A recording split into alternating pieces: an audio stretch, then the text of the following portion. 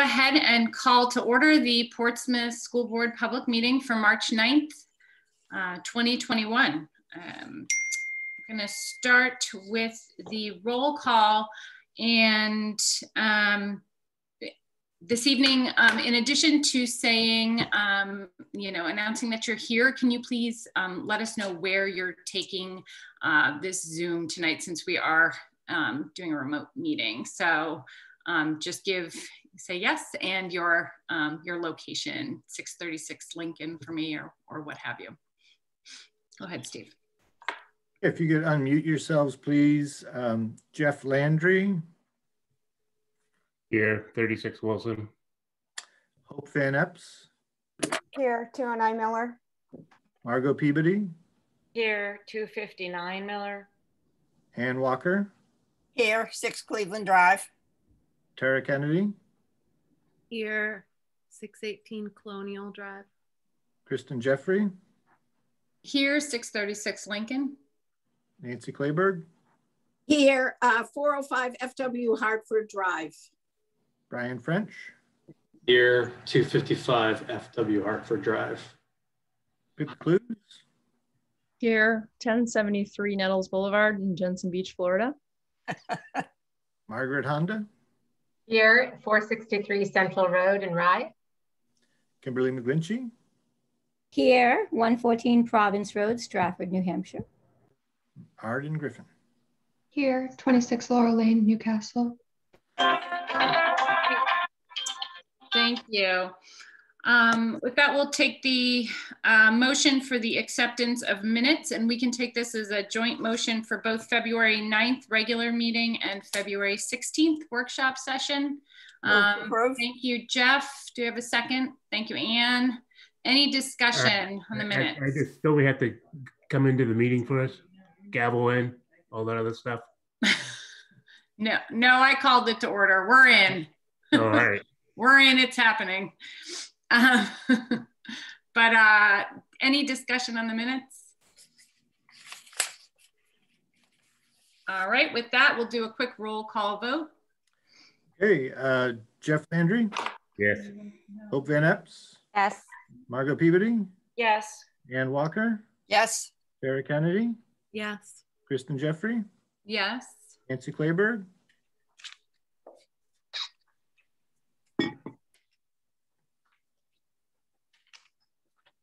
Yes. Brian French?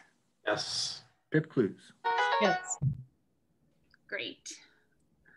All right, thank you.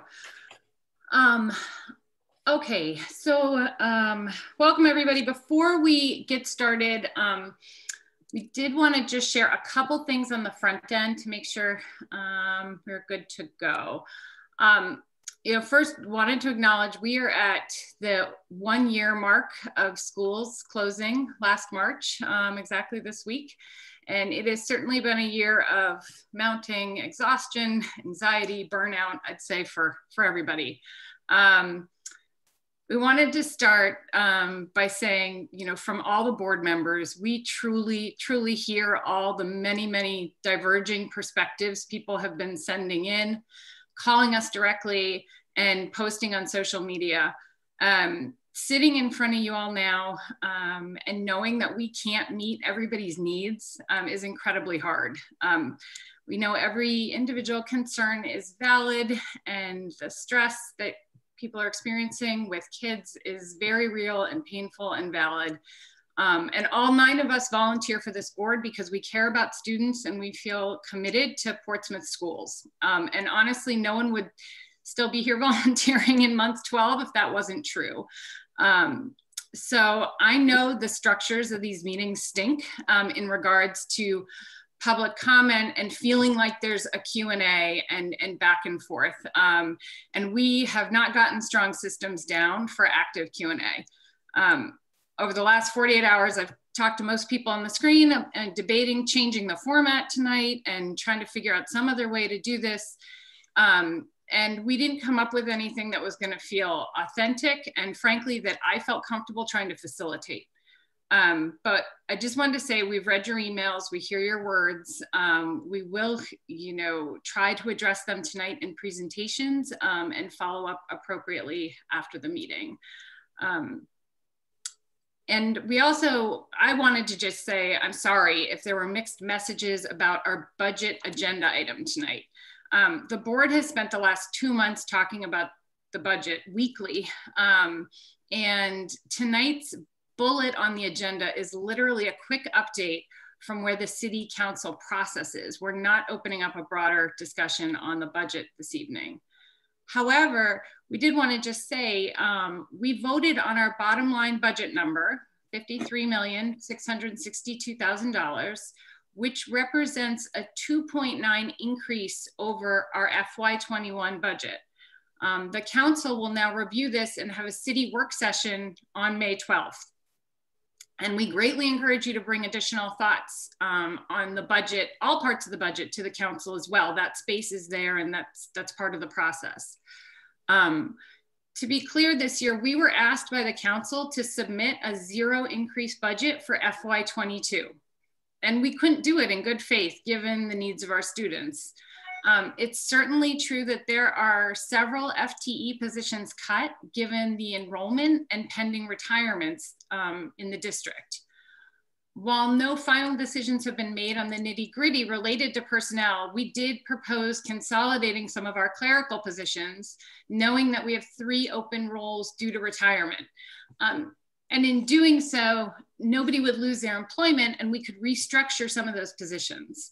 Um, so I speak for the full board in saying thanks to all the people who sent in concerns on specific roles. And we're going to continue to look at how staffing plays out. And we really appreciate the feedback from the schools because we need to hear that. Um, and I think, uh, you know, I'm, I'm nodding to Steve a bit here, but there is time to still look at some of those very specific pieces. But that's where we are in our process overall so I hope that's helpful um, for the different reasons people are here tonight. Um, we just wanted to make sure we shared all that now so you weren't hanging on for a bullet, you know, halfway down the agenda that didn't meet your needs um, later on.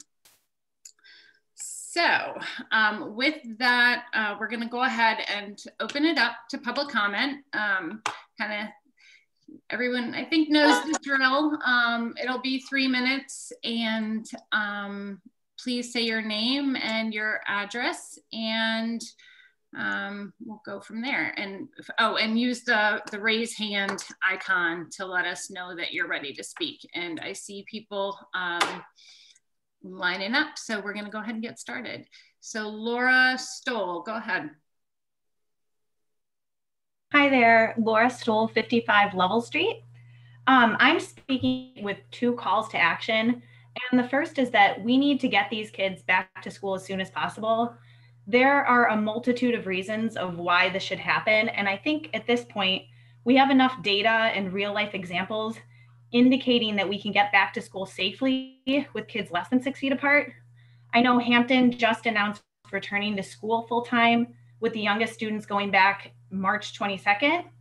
And the superintendent of that district was quoted as saying, Our community is clearly split on returning full time, but since the school year began, our ultimate goal has been to return fully in person learning once public health data indicated it was safe to do so. And hasn't this been our goal too? I recognize that the logistics for us will be different, but the point now is that we have tons of examples of schools across the state and country with bigger populations and schools that are more crowded than ours, fully open with no big outbreaks. We're not the pioneers or guinea, guinea pigs of this anymore. In fact, just for contrast today, I tried searching for an article about a school that opened up fully where it was a complete disaster, and I could not find one. I also want to point out that these schools have been open successfully prior to teachers being vaccinated. And now, thankfully, our teachers have the opportunity to get vaccinated later this week. I understand that full protection won't happen for about six weeks, but the data shows that there is some protection even after the first dose. I'm not going to speak for the teachers. I think everyone should be able to decide when they feel comfortable returning full time. But for many of our teachers, they're already in the classroom full time, just teaching different small cohorts. The bottom line is that mentally, socially, academically, getting back to school in person full time is in the best interest of the kids. So I think as the adults in this situation, let's make this happen for them. And the second point that I want to bring up is we're going to need ample staffing to handle the needs of students coming into next year. From an academic standpoint, we're going to have kids coming into next school year at gaps greater than we've seen in the past. We're going to have kids that are way behind and kids that are way ahead, and no group should be ignored. My initial thought is that we have some sort of breakout groups established so that the kids who need extra help can get it and the kids that are ahead can be challenged in a way that keeps them engaged. But regardless of how this issue gets addressed next year, I just want us to be planning for it so we can hit the ground running and make this next year as successful as we can for our students. School should be a place where kids are inspired to learn regardless of where they fall on the academic spectrum. That's all. Thank you. Thank you, Laura. Megan, go ahead. Megan Soretto, 419 Marcy Street. So I have to be honest, I didn't leave the last meeting feeling confident and very concerned about what lies ahead for our kids. Month to month, we wait to hear updates, and those updates are not clear nor concrete, leaving most of us confused with many questions that go left unanswered. Our kids, our community have come together and done their part to flatten the curve. As you said, Kristen, we are one year in, one year. The kids have done an amazing job in doing what is asked of them. Most things in our daily lives are modified. This applies to us all. Yet our kids are being held to the same academic expectations when they are clearly not receiving a full education. And that is not a knock to the teachers. I realize that this is a very difficult situation. Reaching kids through a screen, teaching in this way is difficult. It's harder for the kids to focus and process the information. So many are falling behind. One of my two kids falls into that category. And let's also not forget that if our kids, for some reason, need to quarantine, they receive no live instruction how is this okay? This has been asked time and time again, and we still have not received an answer to that question. They've hit a wall, and for some, the pressure is becoming too much. And it's important to remember that school is more important than just academics, socialization, supportive peers, relationships with teachers are all crucial parts of a child's development. We are seeing towns returning to school full time. Some have been all year. Massachusetts is our neighboring state, and they're getting ready to go back to a full return. Why not Portsmouth? Studies are showing over and over that three feet versus six feet, and I know this is a big sticking point here, makes no difference. Many are operating at three feet with no higher transmission rates than we are. There has been no safety issues. Schools are safe with mitigation procedures in place. Teachers or those who choose to be will soon be vaccinated. There should be no reason as to why we can't go forward and get these kids in school full time. I've heard echoes that it will be too hard. This is all hard. This is all hard. We owe it to these kids to figure it out. The isolation, social deprivation, the remote hybrid learning is having a devastating impact on these kids.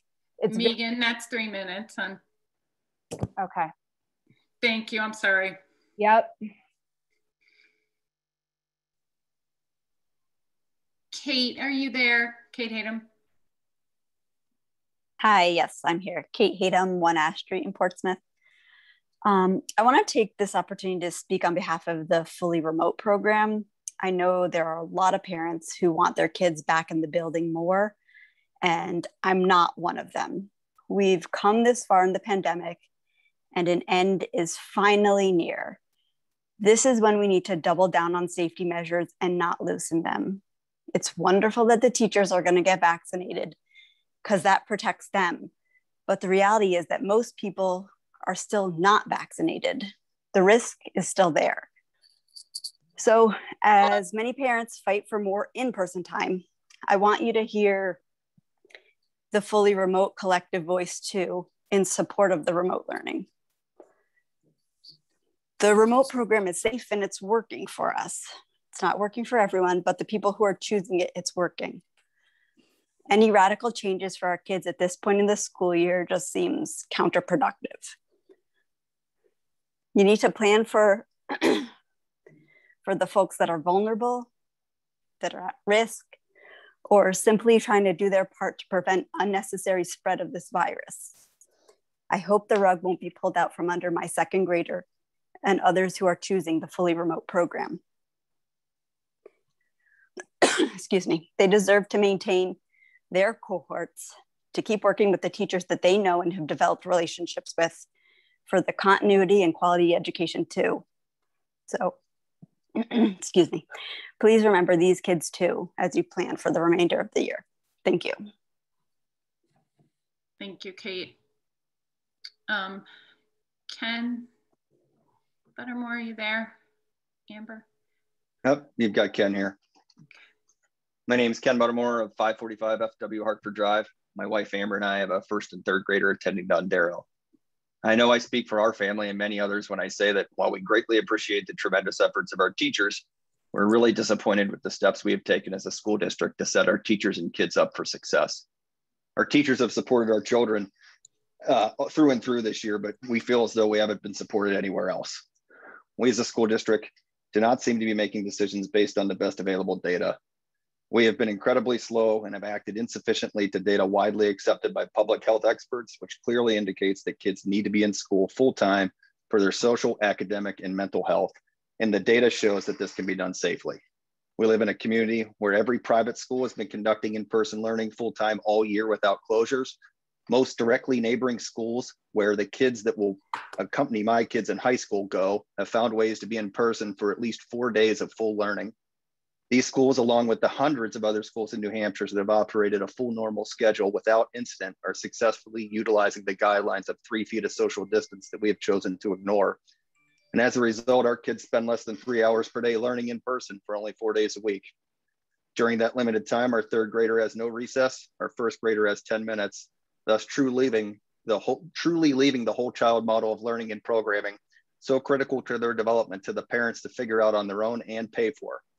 How, is accept, how is it acceptable to exclude such a critical element of education from our curriculum?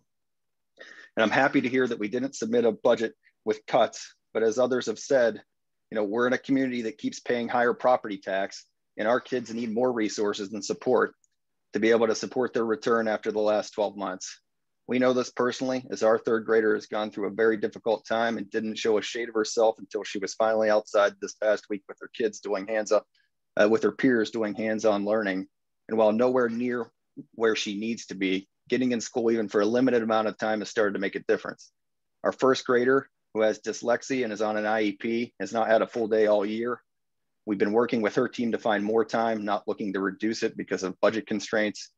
And we're struggling with the thought of where she'd be academically if she had, or where she would be academically if she had not lost so much time. And frankly, every online assignment continues to be a battle with both kids again, we're thankful for our teachers. Uh, we know they have been by our kids' side every step of the way, but we as a community can do better. We found ways to open our economy. Our neighbors are opening schools. They're doing it because they want to find solutions and they want to do right by the kids.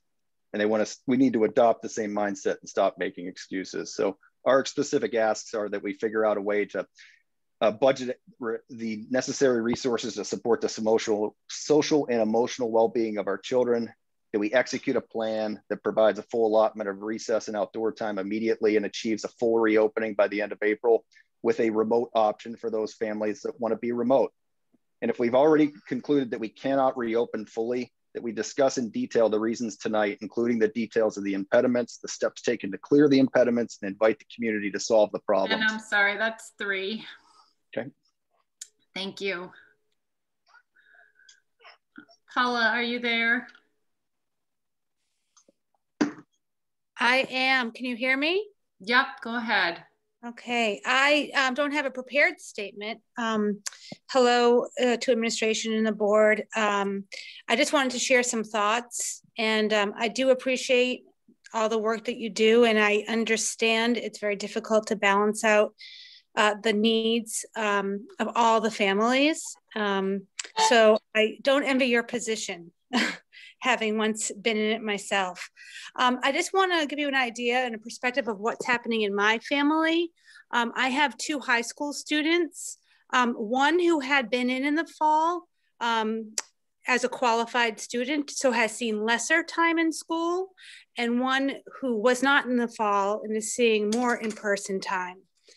Um, when I look at their schedules, there is a lot of downtime. I'm, you know, probably 15 to 20 hours a week um, where they are not doing asynchronous work. So um, I have a flexible enough schedule that I can try to redirect them and um, find opportunities for them. But I understand that other families are not in that position.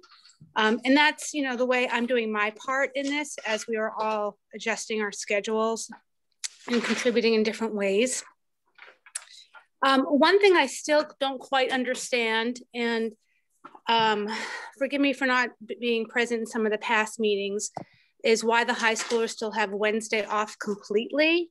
Um, high schoolers will sleep in if given the opportunity to sleep in or um, so it's not a very productive day and again that's a day that i'm redirecting them most of the day um, so what i'm asking tonight is as you consider options for re-entering the schools um, maybe you can take steps to get to a full-time in-person schedule consider using ESSER funds um, the covid relief funds for perhaps longer school days that would give students more in-person time, the cohort A and cohort B, um, and increasing salaries for teachers, um, or um, allowing them in school on Wednesdays and giving them that half day. Um, ultimately, you know, I think the pressure is on clearly and will continue to be on to get them in full time. You see the mandates happening in Massachusetts. My sister's a school teacher there. Uh, the concern was vaccinations, but now teachers are being vaccinated. And I think you're only going to continue to see that pressure build um, in the coming weeks. Um, I just wanted to share that with you and um, please consider um, having the students re-enter the buildings um, as you feel is safe. Thank you. Thank you, Paula. Molly? Shaw Wilson, and just um, reminder, just please say your address too. Thank you so much.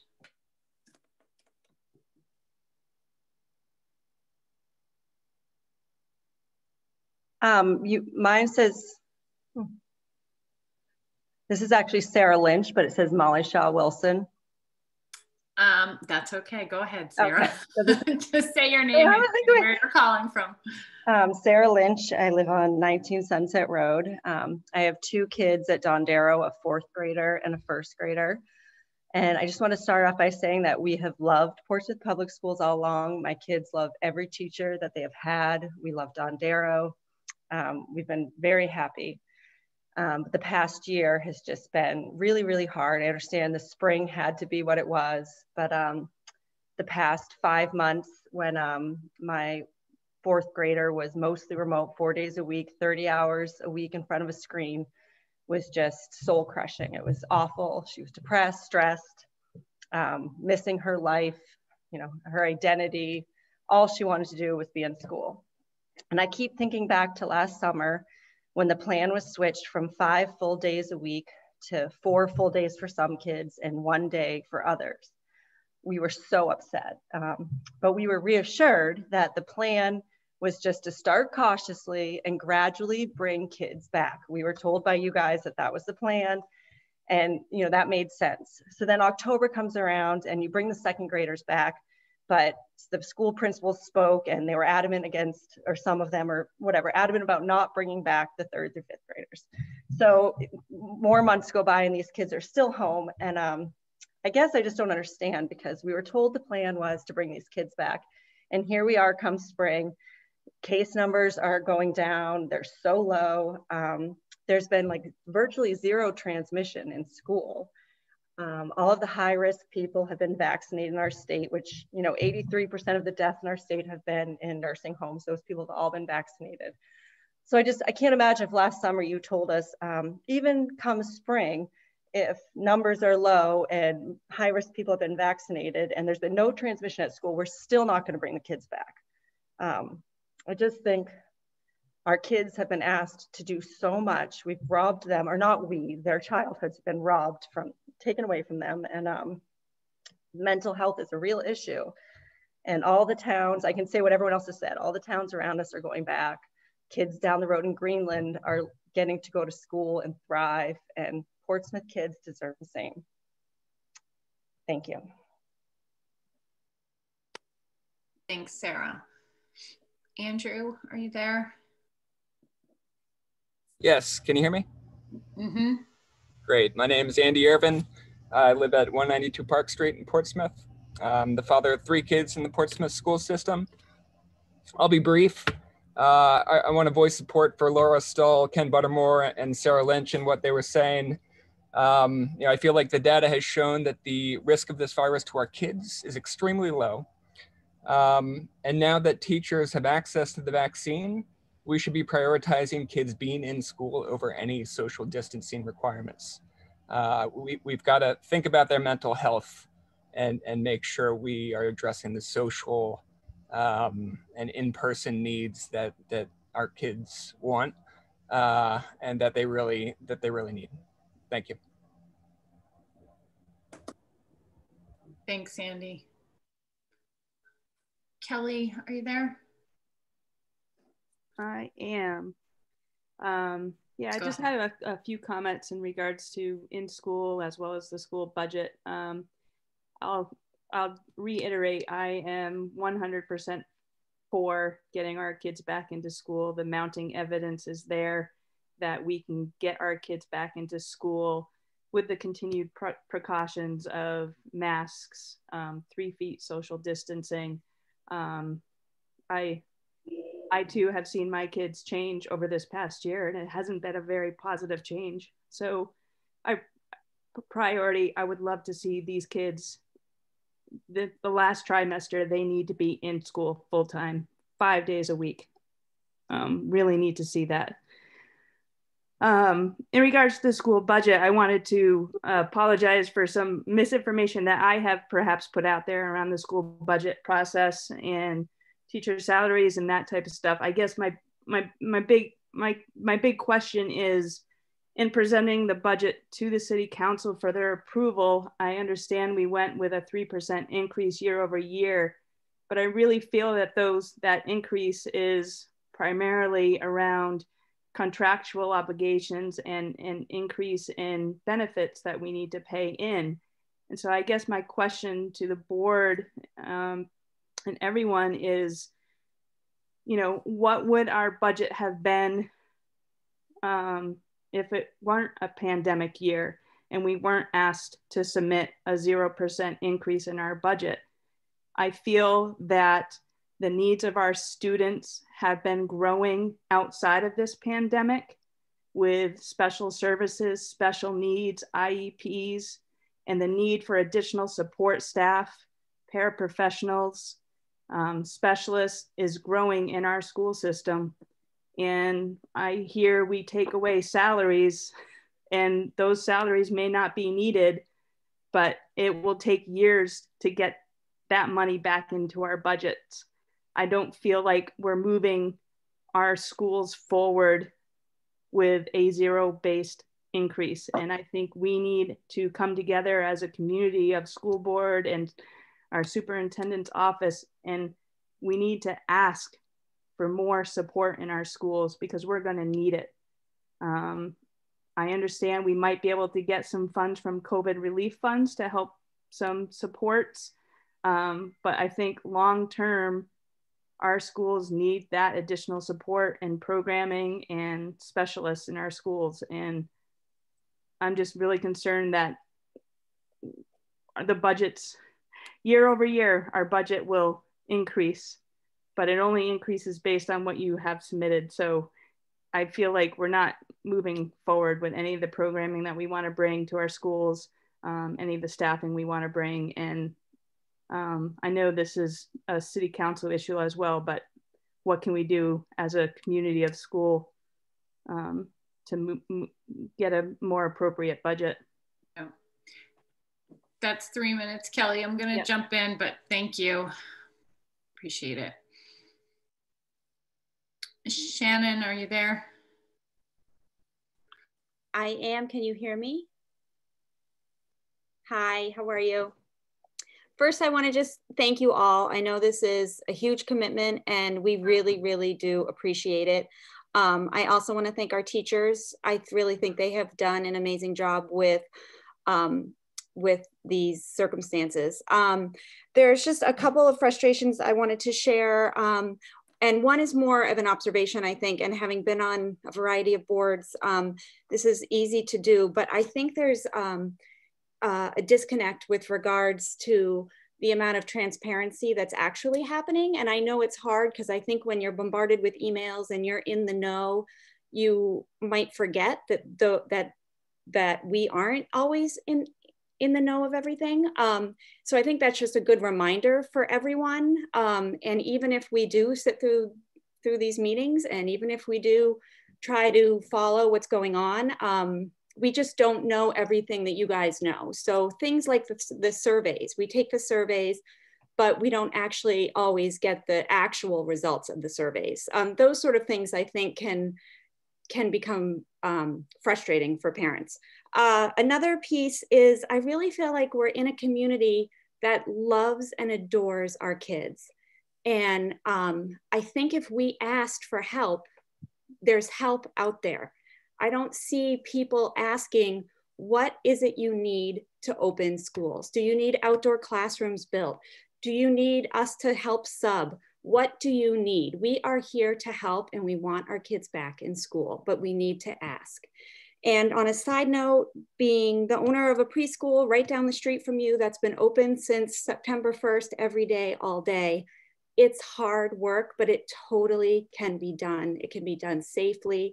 And it's so important for our kids, their social emotional well, well, well-being as well as their academic. They just need to be back in school and seeing their smiles on their faces makes all the difference and it's worth the extra work. And with the layers of protection, it totally can be done. And I know I'm on a much smaller scale, but it's doable and it's so worth it so thank you again for all, all your work. I know it's a lot, but um, thank you. Thanks, Shannon. Monica, are you there? Um, and you guys, I've gotten bad about catching this. If you can just state your address, please, for the minutes, appreciate it. Can you hear me? Yeah, Monica Zingarello, 135 Thaxter Road. Um, I have, as you know, three kids, two in the high school, one an eighth grader at the middle school. And I just want to reiterate a lot of what's been said here already, especially around the mental health crisis. I have to say, um, for our kids, I saw it personally last week. Unfortunately, I had a trip to the ER myself. And in talking with um, some of the folks there, it was unbelievable to me the um, kids that they have been talking to, along with the parents that have been coming into the ER. They said over, I there was actually a nurse there that I knew from a family in Dover, and she spoke about about six out of every ten people that are being admitted to the ER over the last six months are children and young adults that are anxious and just feeling this especially and they are part of our schools um, I'm part of an Exeter parent group as well that is reporting, you know, reported three suicide attempts just last week. This stuff is real and it's hard. And it's very hard for our kids. It's very hard, I know, for our teachers as well. Um, I have three kids, and my daughter, who's been a rock star through this whole thing, has basically told me she's she's done doing this at home and she can't do it anymore. She actually stopped. She didn't go to school Monday and Tuesday because she was very just, you know, she's a great student and she just couldn't do it. And that was hard to hear. So I am just hopeful that we are not going to wait until September to go back to school. I know the disruption that's going to happen with getting, you know, getting um, hybrid going in the, these four half days. And I understand what's the point you maybe of just doing this May and June, but I think if we try, if we try to get the seniors back in, maybe they can have some time together as well before the end of the year. I just think it's really important for the whole community. Um, if we show that we can do it, we can do it at three feet. We can do it once the teachers are vaccinated. I'm just, I just hope that that is the plan. So thank you. Thanks, Monica. Um, Regan, are you there? Hi, I'm here. Regan Johnson, 92 Coakley Road. Um, just like to start out by saying thank you um, for the thousands and thousands of hours that you all have put in to um, solve all of these issues that nobody ever expected you to have to solve. Um, so we appreciate you and our teachers and administrators.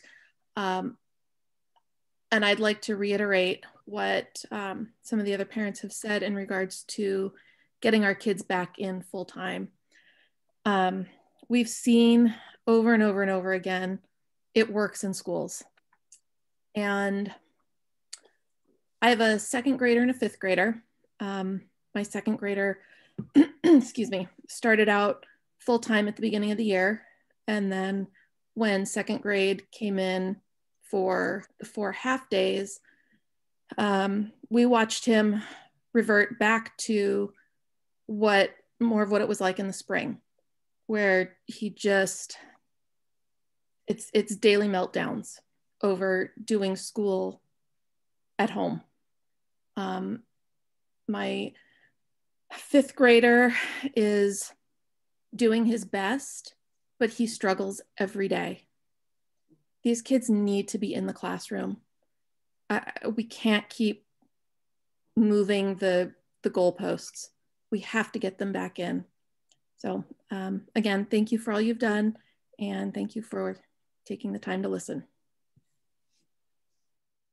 Thanks, Regan. Um, is that Hannah or Jana Goldstein? Yeah, it's Jana. Go ahead. Hi. Hi. Um, so I just want to say I read the article um, yesterday in the Portsmouth Herald, and I'm so excited, you know, that our teachers are getting vaccinated this weekend. So I know it highlighted that Steve made the call right away. Thank you for getting us on board, Steve, right away for that. Um, I have to say, like, it was kind of a tough pill to swallow as you read on because um, it, of course, goes on to say and highlight that the clinic will include vaccinations for all of the SAU 50 teachers, which I'm so happy for them too. Um, but of course, they've been, you know, showing us all that you can be full time uh, in school with students four and a half days a week and be successful and be safe. And um, I know, in fact, one of my best girlfriends who I went to grad school for elementary education with has a daughter in um, first grade, just like my daughter at Dondero, only hers is in Greenland. And her daughter is in a class with 17 kiddos. And they are staying safe and they're staying healthy and they're uh, utilizing the three foot rule. And I guess what breaks my heart is everybody, all the teachers that are going to get vaccinated, and yet we're going to say, but we're still going to wait until maybe after um, April break when all of the SAU 50 teachers will go ahead and continue Monday morning, four and a half days full time with their students. And um, our students will continue to fall behind their peers with you know, lack of academic and social development opportunities. Um, I just think we can do better.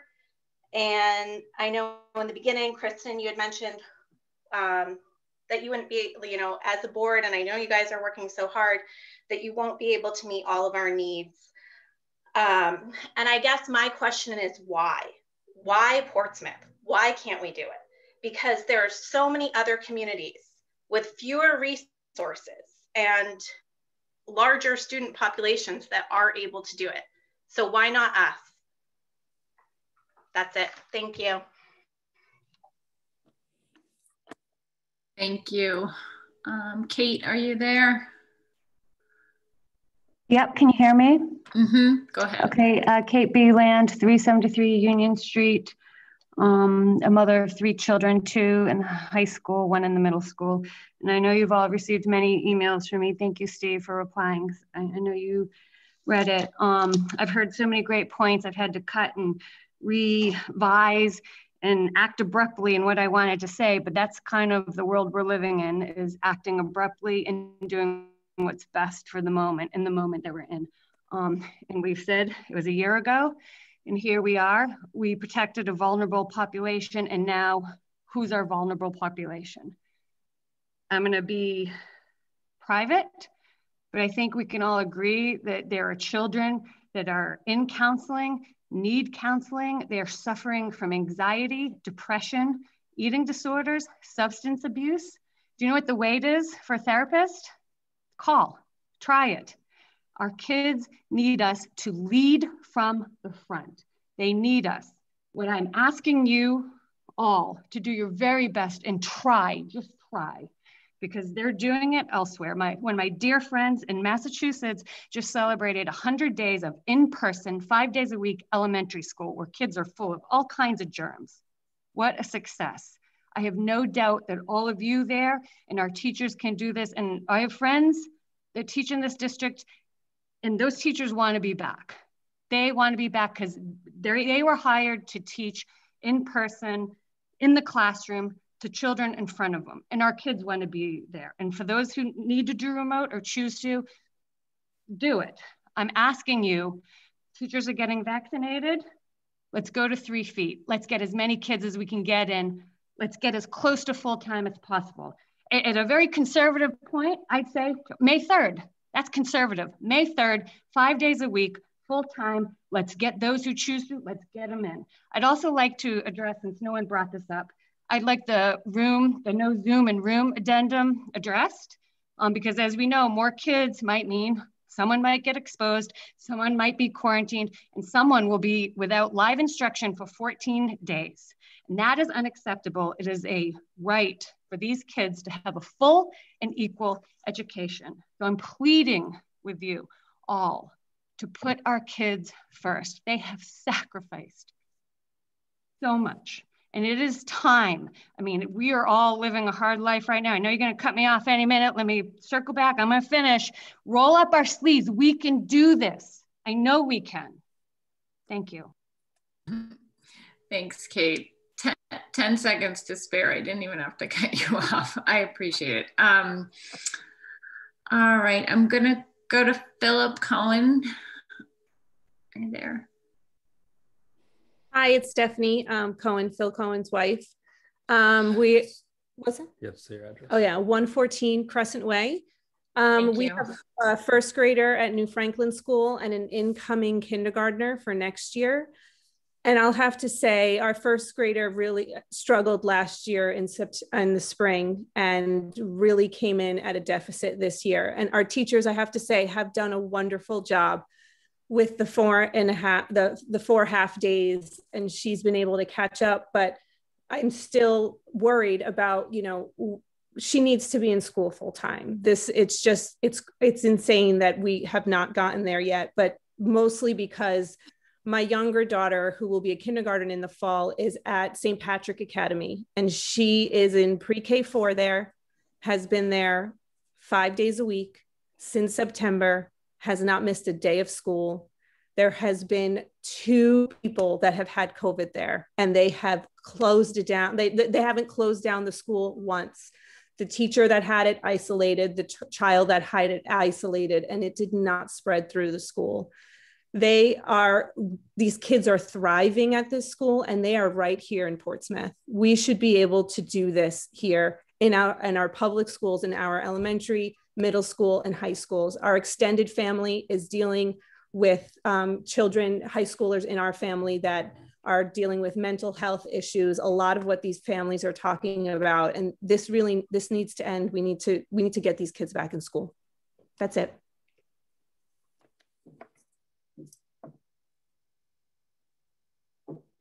sorry thank you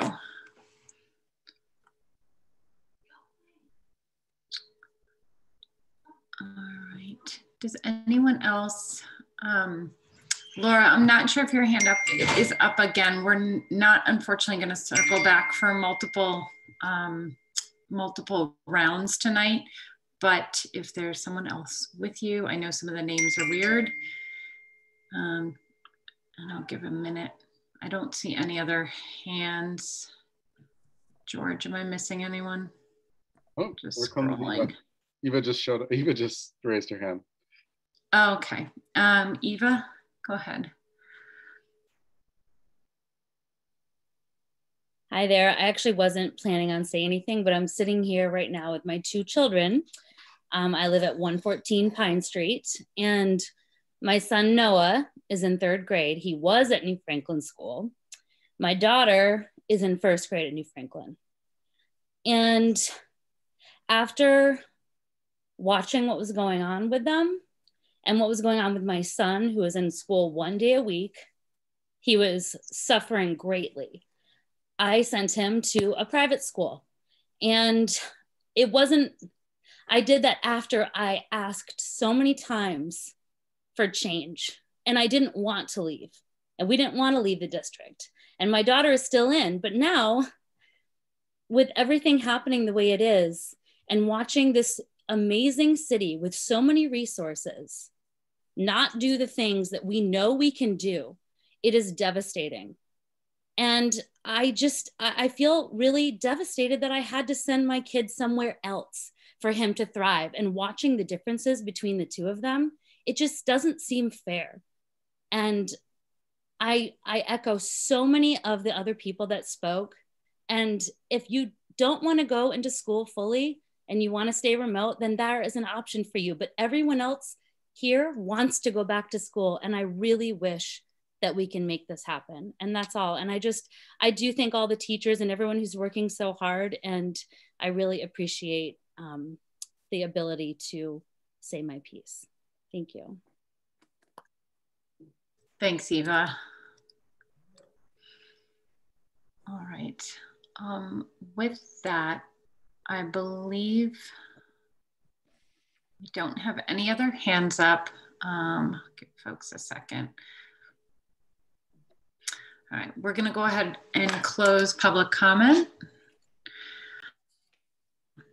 And, um, you know, as we said before we got started, thank you all for, for bringing your perspectives and your individual stories. It, it is helpful for us to hear. Um, and we're going to shift into our um, school plan update and hopefully can um, address some of the, the things that came up tonight. And if not, I, I see everyone scribbling things down and, and we will we will get to them and, and get back to you um, in different ways as well. Um, so with that, Steve, I'm gonna pass it over um, for you to take us into our school update. Yeah, thank you. And, and thank you to all the, the speakers. Um, you know, I, I you know, I hope it shouldn't have to be said, but we we all have the same goal, which is getting kids uh, as as close back to that sense of normal in school as we as we possibly can, as as soon as we can. Um, I, I, would like to, to call out some of the many of the comments dealing with uh, the mental health uh, of students, and knowing that that is an issue um, that is uh, certainly grown over the last year. Um, and um, a couple of things. First and foremost um, as I'm sure people know, you know, our guidance and counseling staff at the school are absolutely dialed into uh, how we can best connect kids to the support they need. Uh, we have partnerships in the schools with other therapists uh, at Seacoast Mental Health, at Tradeport, et cetera, uh, we have uh, ways of making referrals and trying to help. So if there's a parent out there that, that really needs to get help for their kid, I really hope they would reach out to the uh, school counselor and, and help us um, connect with, with whatever supports might be helpful. Um, beyond that, um, as I think we mentioned here um, a time or two ago, uh, we are reconstituting our wellness committee and that meeting, that committee will meet for the first time tomorrow. Uh, and that's um, a group that we know is going to take a deeper dive as well into some of the broader supports and strategies uh, to continue to help uh, connect students to those needs, uh, as well as some of the universal strategies to help kids get back connected to school, certainly as we go from here uh, into the fall as well. So I'm gonna share my screen and go through um, a similar kind of presentation that we have seen before. Uh, and then of course, um, pause for any questions and discussion. Um, and first and foremost, just to ground us back in the, the numbers uh, as they are most current, uh, we continue to see a decline in the cases across the state. Uh, we continue to see a decline in the positivity rate. Uh, I'll tell, talk a little more about that in a minute, as both the state as well as in Rockingham County. And those are good things to see. We know that uh, as vaccines become more widely available, uh, as we continue to work with the mitigation strategies that we know have been working, you know, we know these things can have an effect on really turning those trends around. Uh, that 5.1% positivity rate is right at the cusp. If you and I'm not I'm not going to go back to all the links and the, the resources again, but is right on the cusp of the 5% threshold that the DHHS has set as a, as more of a minimal um, community number. Uh, our cases per 100,000 still are, are well above that, but but we do see those things trending in the in the right direction. Um, I would uh, call your attention um, to the, uh, I'm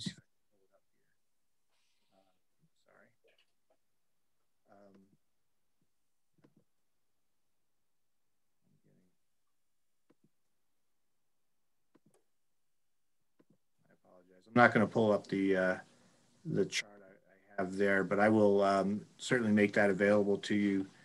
Um, so just the, the idea and the numbers here uh, that we have um, the positivity rate, the graph that I was going to pull up has come straight from the, uh, the DHHS site uh, most recently, and that shows essentially that um, those numbers are, are still coming down, but much more gradually right now um, than they were before.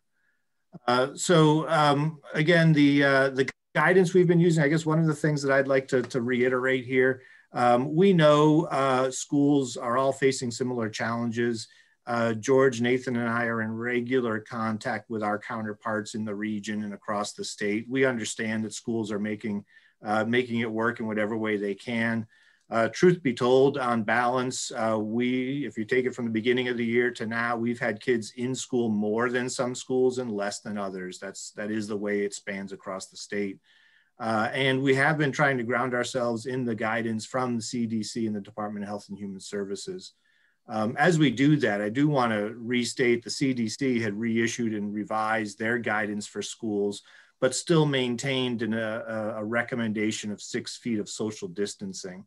Um, and so while yes, a, a, vaccine more widely distributed does uh, cause us to have a deeper conversation about that, I do want to make it clear we have been following the guidance from our health experts uh, in terms of some of the, uh, the ways we've been opening schools. And many of the schools that folks had mentioned around us are able to have more students in and keep six feet social distancing. And that's just the fortunate uh, uh situation they have for fewer students and more space.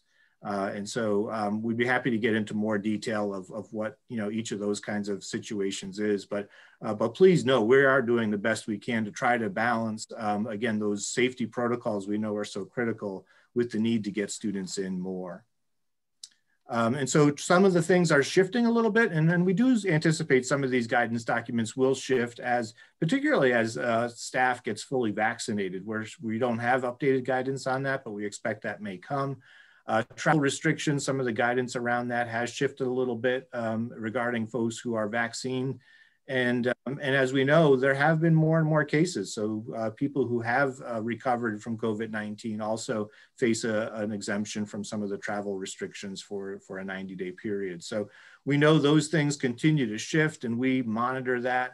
Um, but um, the, the chart down here, the, um, take you to our dashboard for a second. This is the dashboard off of our website for where we are in the schools right now.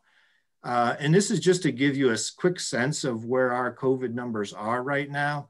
Um, and I, I, do need to, to mention that while our community numbers have gone down, thankfully, our school numbers have actually seen a bit of a spike in the last couple of weeks. And really um, from February vacation through this week, uh, we've seen a fairly significant spike in happening in multiple schools of student cases as well as of staff cases. Uh, and it has increased our need to quarantine uh, and has brought some schools to a critical level. Right now, uh, Little Harbor is actually at a critical level in terms of staffing because of the need for many quarantines that are happening. Uh, and, you know, kudos first and foremost to all the staff, the teachers and the administrators. I know administrators are jumping into classrooms left and right to try to cover uh, the holes that are there uh, in our current model where we are right now. Uh, and I don't say that's uh, necessarily a reason not to move forward, but I do want to continue to remind us of that reality uh, where we still do have uh, a number of cases popping up. Um, and we do see that um, quite a bit at the high school uh, with a number of cases popping up, mostly outside of school. Thankfully, we still don't see transmission happening inside of school, really. But, um, but we are seeing many more cases pop up outside of school in clusters that are occurring within the student population uh, outside of school. Again, that's not a showstopper, but it does give us uh, certainly reason to think about if we had a thousand kids in the hallways at the high school, does that shift um, you know, that exposure uh, for us. And so we do want to be mindful and thoughtful on all of those things. I don't want to paint the picture that uh, all of the numbers are rosy right now because they're actually not, where we are seeing uh, uh right now a spike in some of the cases within our school system. Um, so just to uh, to take on to um, to the good news, which is that as people had referenced on Saturday, we are hosting a vaccine clinic. Uh, again, uh, as as I mentioned in the paper, you know, kudos to uh, Fire Chief Todd Germain who really helped us set this up. Uh, Chris Burke, our wellness coordinator, uh, who helped organize much of it and is continuing to help organize it. And again, all the staff and many volunteers that are pulling together for this. Uh, we're very excited to, um, to offer the vaccine for all staff, um, anybody who uh, is related to our schools and, and students, uh, and we've been able to outreach to SAU 50 as well. Um, the vaccine that will be offered this Saturday, we know is one of the two dose vaccines, and therefore there will be a second dose necessary that would either be three or four weeks out from Saturday, depending on the vaccine we actually end up with. And then there'd be a two week uh, period after that for full uh, protection from the vaccine. Um, and, you know, I realize that everybody wants, uh, you know, something to happen sooner uh, or as soon as possible. But, you know, one of the things I, I personally would, would put a stake in the ground on is that we don't expose our staff to any greater risk with only weeks to go before they're fully protected from a vaccine. So I would say in terms of our timeline, we really aren't considering any change in more students in school uh, prior to uh, at the very earliest April vacation. Um, we are moving forward with uh, spring sports. Uh, we've had, again, two successful sports seasons with protocols in place with some of the uh, changes and adaptations through our athletic department.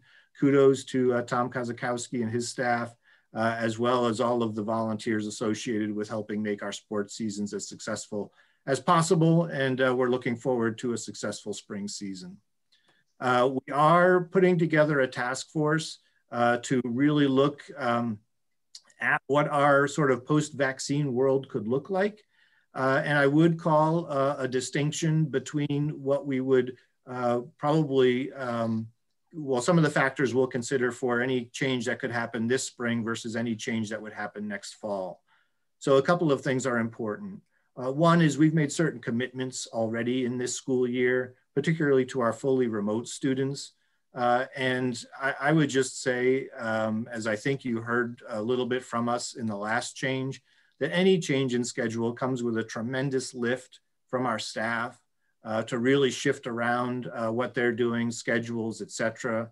Um, and knowing that if we uh, actually have to go through a rechange of some schedules to make a change work, uh, it could mean students changing the teacher they have in the last two months of school.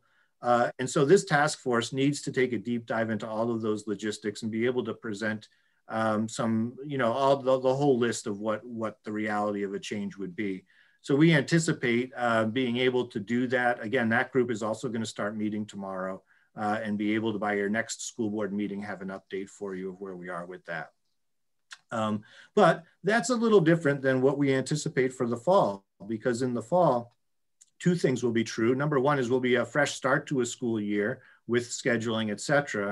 And secondly, um, all adults, uh, as, as we understand it now, all adults who want the vaccine will have it by then. And so even students who come into school who may be going home, um, we're not looking at uh, risk of transmission to the same extent uh, with adults at home being fully vaccinated as well.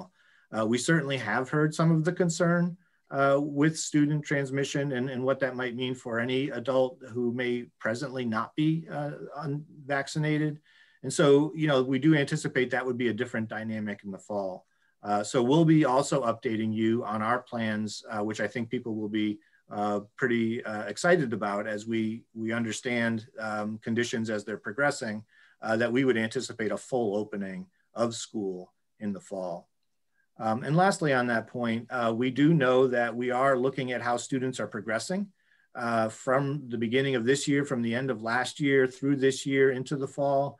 Uh, and you know, putting aside um, you know the academics for a second, we know that part of that is still the social emotional well-being of students. And again, that will be part of the conversation for the wellness committee. Um, but we also know there could be some need for academic support that we could be looking at in the summer. We are actually actively pursuing uh, third party partners as well who could help support academic support in the summer. I heard today that the state is uh, trying to put together a potential um, support uh, system of summer camps that could be open to parents uh, for different purposes. Uh, and so we will uh, certainly be a partner and, and do everything we can to offer as much as we can in terms of summer support for students. The good news is, and I'm going to turn this uh, conversation over to George in the second presentation tonight, but he'll talk a little more about some of the indicators uh, that we are tracking. Um, and the good news is, while not, again, everything's not completely rosy, uh, we do see some fair progress with students still uh, at multiple levels in their academics. And so uh, I don't mean to minimize the academic need or potential loss, but we also want to be driven by the data that we can gather on where students are. And that task force, uh, and I'll close with this, that's going to start meeting tomorrow, will uh, in earnest plan through what it would take to have students in five full days uh, a week next year. Uh, clarify and report out again for your next meeting uh, what we're talking about for the rest of this year.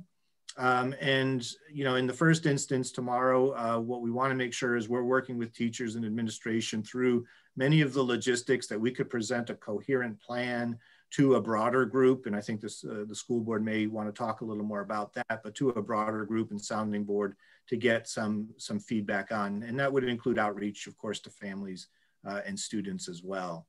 Uh, so we do know that this is the critical work. Um, and again, I, I, hold down that, um, you know, teachers we talk to, the staff we talk to are doing tremendous, tremendous work. They also want to, to certainly have students in uh, more days a week and more often, um, but also are concerned quite legitimately for any, any uh, rollback of safety protocols that have been working uh, for us certainly to this point. So with that, I would uh, pause and uh, see first if there's questions or discussion from the board.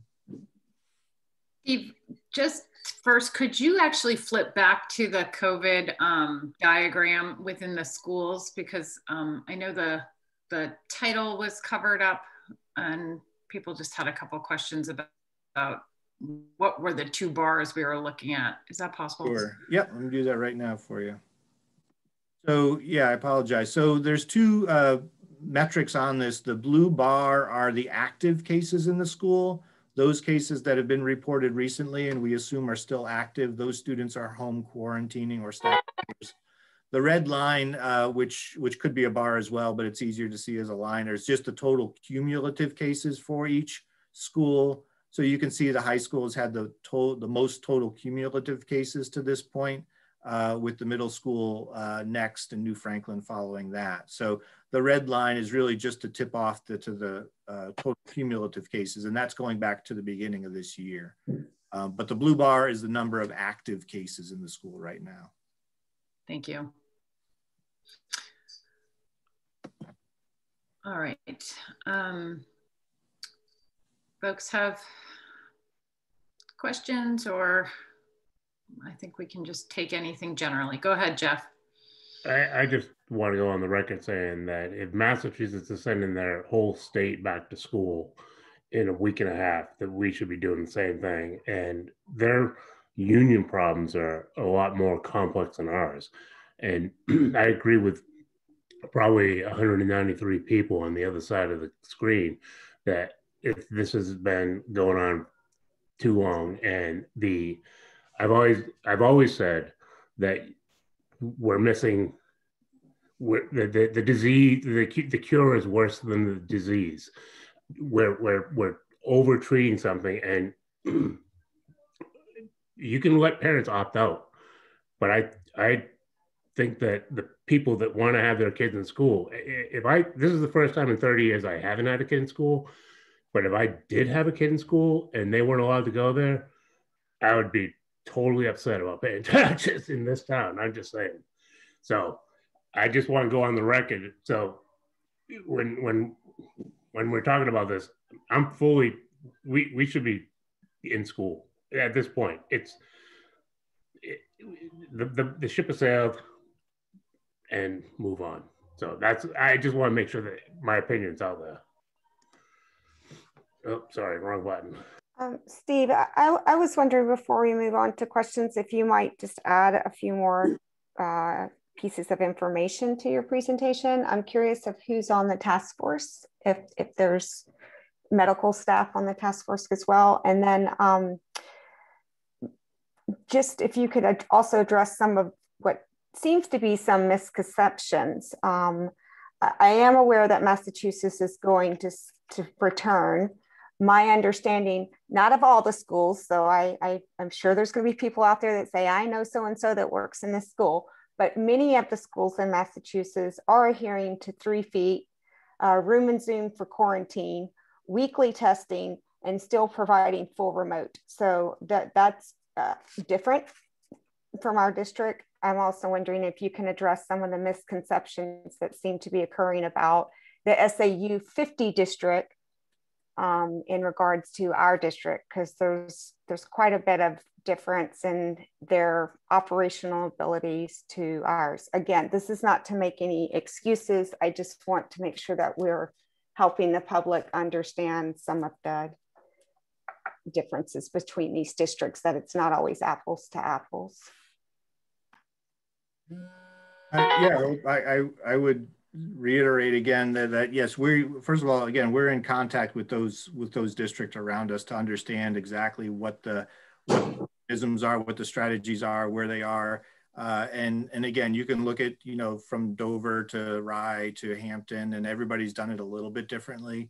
Um, but uh, one of the things that um, that probably should be stated is we're all operating under the same uh, mechanism of, of what those safety protocols are, and so uh, and, and we do have an MOU uh, consistently, all of us with teachers that does specify uh, six feet as the goal for social distancing. So I, I would say, and again, without without getting too uh, specific about any one singular school, a lot of schools have a lot more real estate per student uh, and are able to spread uh, students out uh, in six feet um, where where we just can't.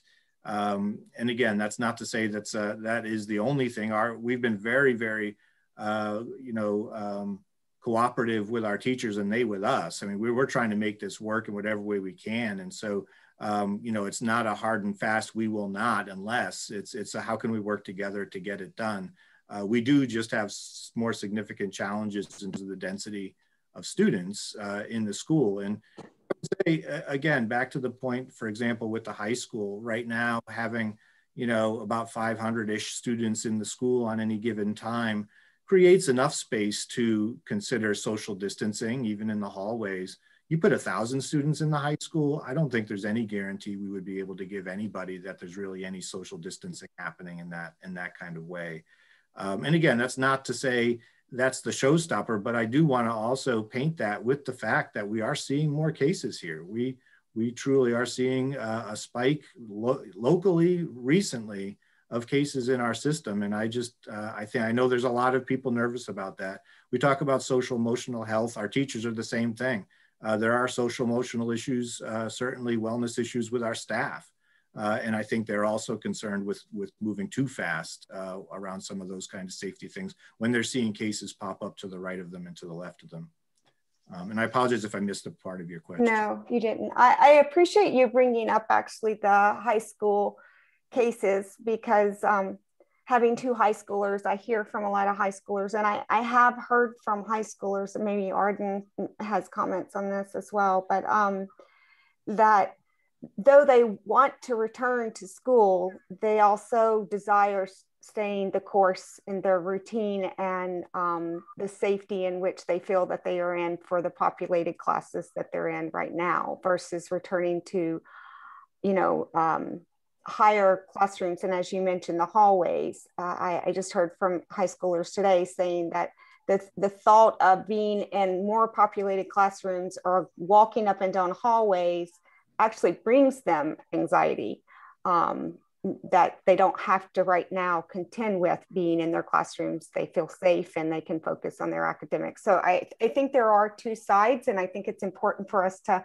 get the students' voices, um, especially at the upper levels. There's more complexity, I think, to the schedules and, and hearing from the students um, themselves. But I, I did want to clarify the DHS uh, information because when I read New Hampshire's DHS information, it says three to six feet with the preference when available at six feet. And I do understand that our driving force was the last survey. And at the last survey, the community's preference was six feet, which is why we shied away from the three feet for our classrooms. It seems like there's been a shift in our community's opinions, but I do want to remind the community that we we made that with the interest of um, hearing from the community themselves. So uh, I guess my question is, are are we tied to the MOU six feet, or would we be able to explore the three feet if we are looking at potentially integrating students um, within the spring?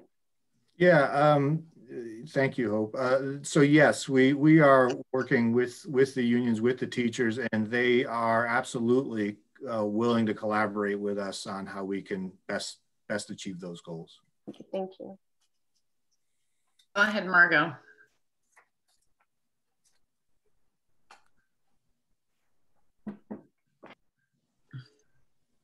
Okay, sorry, had a button issue. Um, several things. Uh, can you clarify a little more?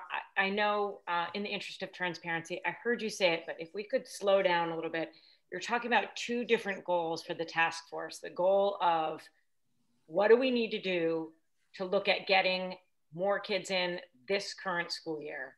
And then a different goal of the goal is everybody's in next year, and what does next year look like? So I, I guess my first question is since there was so much um, concern and feedback about this year, what are the guidelines that task force needs to consider? And might it be prudent for us to resurvey before they dive too deep to get a sense of how many numbers want to be back? Because that could change the metrics desperately, which has been a challenge for us versus Rye, Newcastle, Newington. The numbers haven't been an issue for them at maintaining six feet. So is a survey in the draft to get a sense of how many want to be back five days.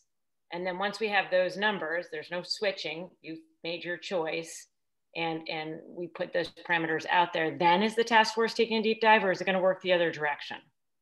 Yeah. Um, in, in the first instance, Margot, I, I think um, I think surveying sooner than later is a good idea. Uh, but I know parents would want to know a little bit of detail of what those choices are before they commit to what their answer is. And so I think the task force will, again, start meeting tomorrow, start diving into some of the logistics so we can get those answers as quickly as possible to what are the options we see are, are viable. And I think it particularly be for those who are fully remote. If there's a shift to the fully remote program for kids, uh, we, will need to be honest with parents about that and, uh, and put that out there uh, in, in such a survey as they choose.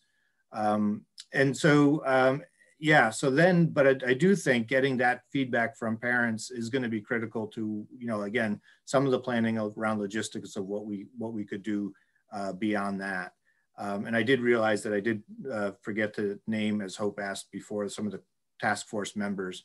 Right now, uh, tomorrow, we're going to put together a group that is uh, a group of teachers and administrators at all levels uh, to really dive into the logistical conversation. Uh, and I see this as kind of a dynamic process where we may reach out for medical advice as we need it to help clarify some things. Um, we certainly, as I said, would survey out to parents. Um, and, uh, and we certainly will want to keep the board connected to this work as well. Um, and honestly, and Kristen and I talked about this, I honestly don't know if, if, if when we switch to really diving into next year, um, if, if we may even want to include some other participants and voices as part of the actual task force. Thanks, that's, that's, that's helpful. Do you have a sense of the timeline I know you said they have to explore what we can offer soon, but I, I can sense the anxiety amongst our parent group for needing a little bit more clearness. Do we have a sense of the timeline of when we can, I don't want to promise a date, but do we have a timeline we're working around of getting that survey out? Yeah, our, um, well, first of all, our, our goal for this spring would be to bring um, a, a plan proposal to you uh, at the next meeting, March 23rd. Um, we want to make sure we're giving plenty of time for parents uh, also uh, as well. Um, and and part of that would be this. I'm not exactly sure we're going to guarantee the survey will be done and have results back, but we may we'll be at a point on the on our next meeting to share in great detail what we're talking about. Uh, we may not be final final with it all, but that would be our goal uh, to have it um, certainly by the end of this month, so that we have plenty of time if there's any change. And am I clear in asking that, like we saw last time, we will have to consider this at three different levels? An elementary need might end up being very different than our middle school picture, which might be different than our high school picture. Yeah, very, very good point. Um, and I, I, would just call on the middle school as an example here. Uh, and and, and just the reality of it, to put it plainly, right now the middle school is able to deliver four full days of remote instruction, directly remote instruction to their remote learners.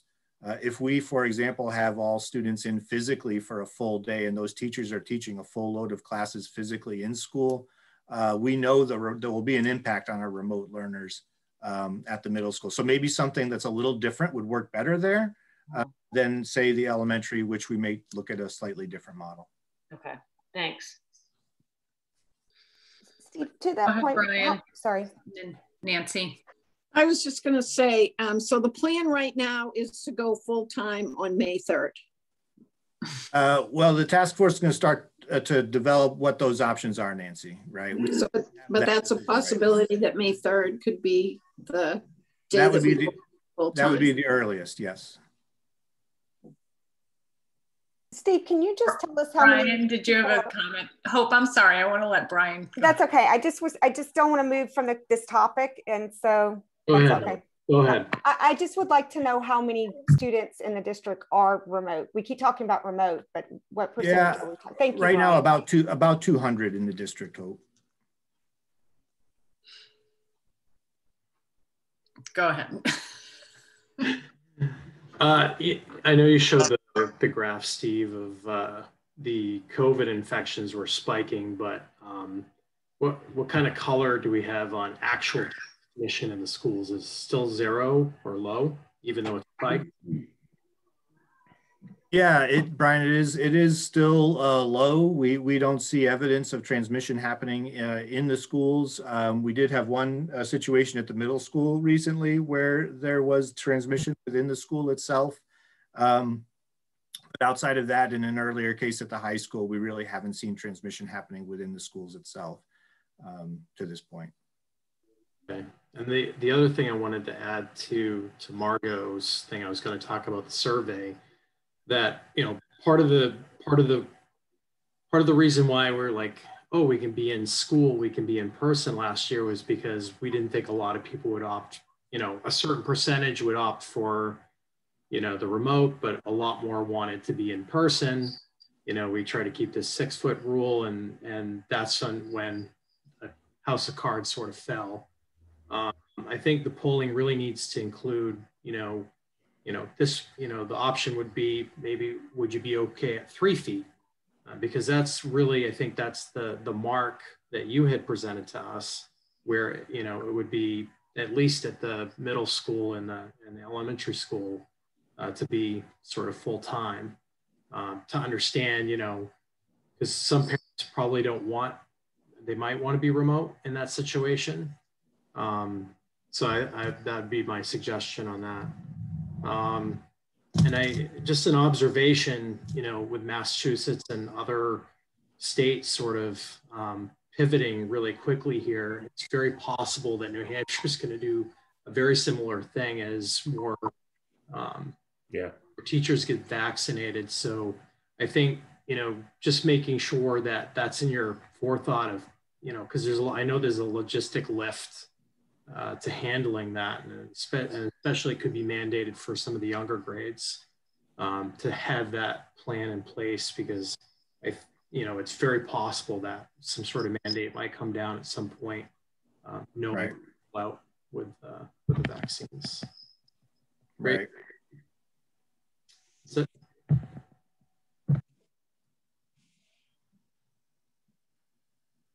I, I just have a question regarding um, the three feet. If if we have an appetite for parents, I mean for teachers at three feet, and students seem to have a comfort at three feet, do we really need to survey again to know the comfort level of remote, or can we just offer a three feet option and people that want to opt into that can opt in?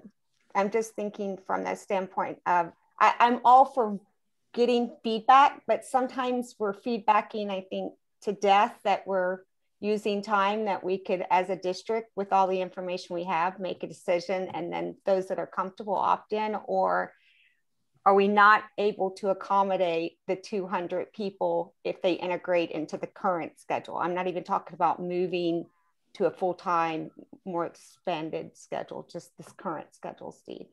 Yeah, you know, one of the tricky things about even discussing what's happening for the last part of this year is regardless of whether or not we survey, if we find a, a, any significant shift in the students in person versus remote, uh, that truly would be a wholesale schedule change for a lot of kids. Um, and I think what I'm hearing from from staff as a just a little bit of caution is that you know May is not the time to switch a teacher on a kid, uh, and so we really should be mindful of the value of a shift versus some of the costs involved. Again, I'm not saying that saying that's a barrier that we can't overcome. We do need to look at those logistics, and we do need to see what the scope of that effect could be.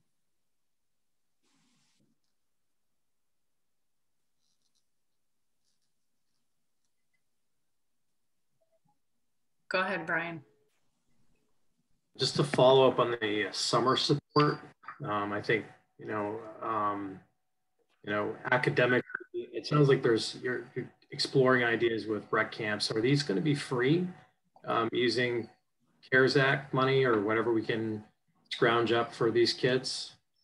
Yeah, the good news, Brian, is I, I, think, you know, for the things that we can put into place, even utilizing third party partners, uh, we should be able to do it at, at, no cost to parents. And again, I don't have the details, but I heard the deputy commissioner of the DOE today describe a, a, a program or initiative the state, it sounds like the state's going to fund, which I assume would also be free to parents uh, that would have uh, sites across the state. So we'll have more information on all of those things as we get it, but I know George is actively working also to try to line some of that stuff up. Thank you. Jeff. So I don't want to go all socioeconomic on you, but they do a survey every two years of how they want to be representative. And not every kid has, not every taxpayer has a kid in the school, but they all pay the same taxes. So they make a survey and say, we want you to go and represent us. And then we go back and we say, parents of kids in school, tell us what you want us to say. I don't think it's necessarily the only path to go. Sometimes you just have to say, we're a school board. We should make a decision. We should say, all right, if they if Boston can send everybody back to school, we should be able to also. So I, I, I don't think you need a survey about everything. Sometimes you just have to make a decision and write it. And if you don't, if, if it's not liked in two years, you'll find out, or four years, depending on what your term is. But make a decision and don't just punt it down the road and let a survey of people that only have a vested interest in the game. Because I can tell you, my I'm not going to fill out a survey because I don't have a kid in school anymore. I'm not going to answer that, but I still still pay taxes. So take that into consideration for everybody that's that's watching and knowing that pays taxes that doesn't have a horse in the game. Their tax bills are the same. So there's my high horse. I'm getting off it now. Margot, Nancy, and I see you too, Arden. Yeah. I'll be super quick. quick. I just want to clarify. I, I, my understanding of the survey is of current families, it's either you're in or you're out for the spring. That's the number we need because what you're saying, Steve, is we have our resources tied to our remote. If that number of learners goes up, we have a staffing issue. Is that is that what you're saying? If our we are we are assigned our remote learners now, if we say you're in or out and more families roll out that because we have we have a requirement to educate all students in our district that's our challenge and that is massachusetts does not have that is that what i'm understanding why is it more complicated for us um, so so yeah so i think again the, the thing with this spring is i think we would we would look to see what's first and foremost logistically possible, assuming the same numbers of kids who have chosen fully remote are going to be the kids who chosen fully remote. Uh, honestly, if that shifts greatly, that presents a greater challenge for us and a question of whether it's worth it for the last six weeks of school. Um, so we'll have to talk tomorrow in this group about exactly what that survey should be, uh, quite honestly, because I do think it's going to depend on, uh, on what we feel is possible. Arden, did you want to go ahead? Oh, sure. Um, as you guys, oh, um, as you guys said, uh, I know things are definitely different at the high school. Um, as Hope said, I think you know some students will find it much more uncomfortable if it is all a thousand students back in the hallway. And I think an issue rises with the high school. I know certainly there is issues with, you know, um, education level and mental health well-being and things like that. Um, and I think there's a difference at the high school level, though, um, where you know students can figure out ways oftentimes to socialize outside of school. And i think that's where the issue arises at the high school. You know much of the transition uh, transmission um, is you know students you know not following these same protocols um, that some other students aren't. And i think that's where the divide is at the high school. You know some students don't feel comfortable you know, being in these cramped hallways, whereas some students feel comfortable hanging around a large group of friends with no masks on. And so I think um, at the high school level, it certainly is different and will need to be taken into account differently. Um, and I'm definitely seeing the same issues as the parents, clearly, because I'm a student here at the high school. Um, but I think that some students will be uncomfortable because they know their peers will be, you know, not following these the same, you know, uh, protocols that they are um, outside of school. So I think that's where, you know, the high school gets trickier. Thanks, Arden. Go ahead, Nancy. Well, I guess I, I, I, when I listen to Jeff and I listen to all these na- uh, all these parents that spoke tonight, and you you think that Massachusetts is going back and this community is going back and that's community is going back. I guess what I would like to say is I would like us to do whatever we can to get kids back in school full time. If it means putting plexiglass around each desk, I mean, we go to some restaurants now where there's plex, plexiglass around every table in the restaurant. Um, I, I just wish we could do whatever we have to do to get kids back in school full time as soon as we can.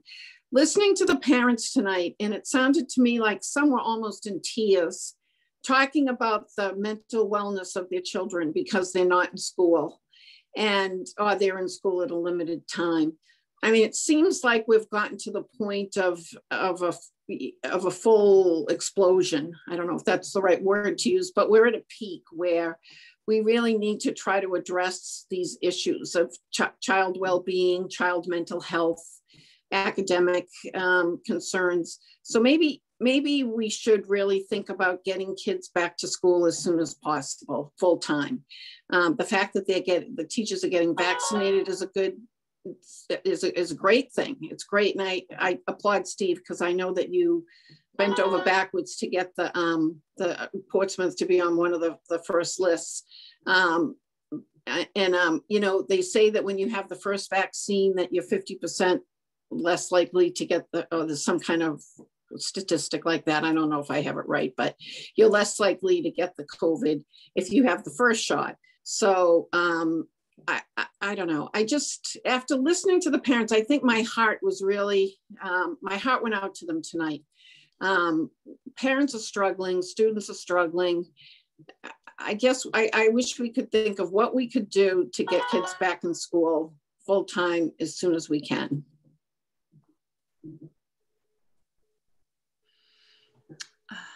Tara? Thanks. Um, I'm going to save a lot of what I want to say for um, our task force um, discussions, but I really, that like, I agree. We definitely, I definitely agree that since we're talking about it, that we should do whatever we can. I think we all agree that we all want our kids in school full time.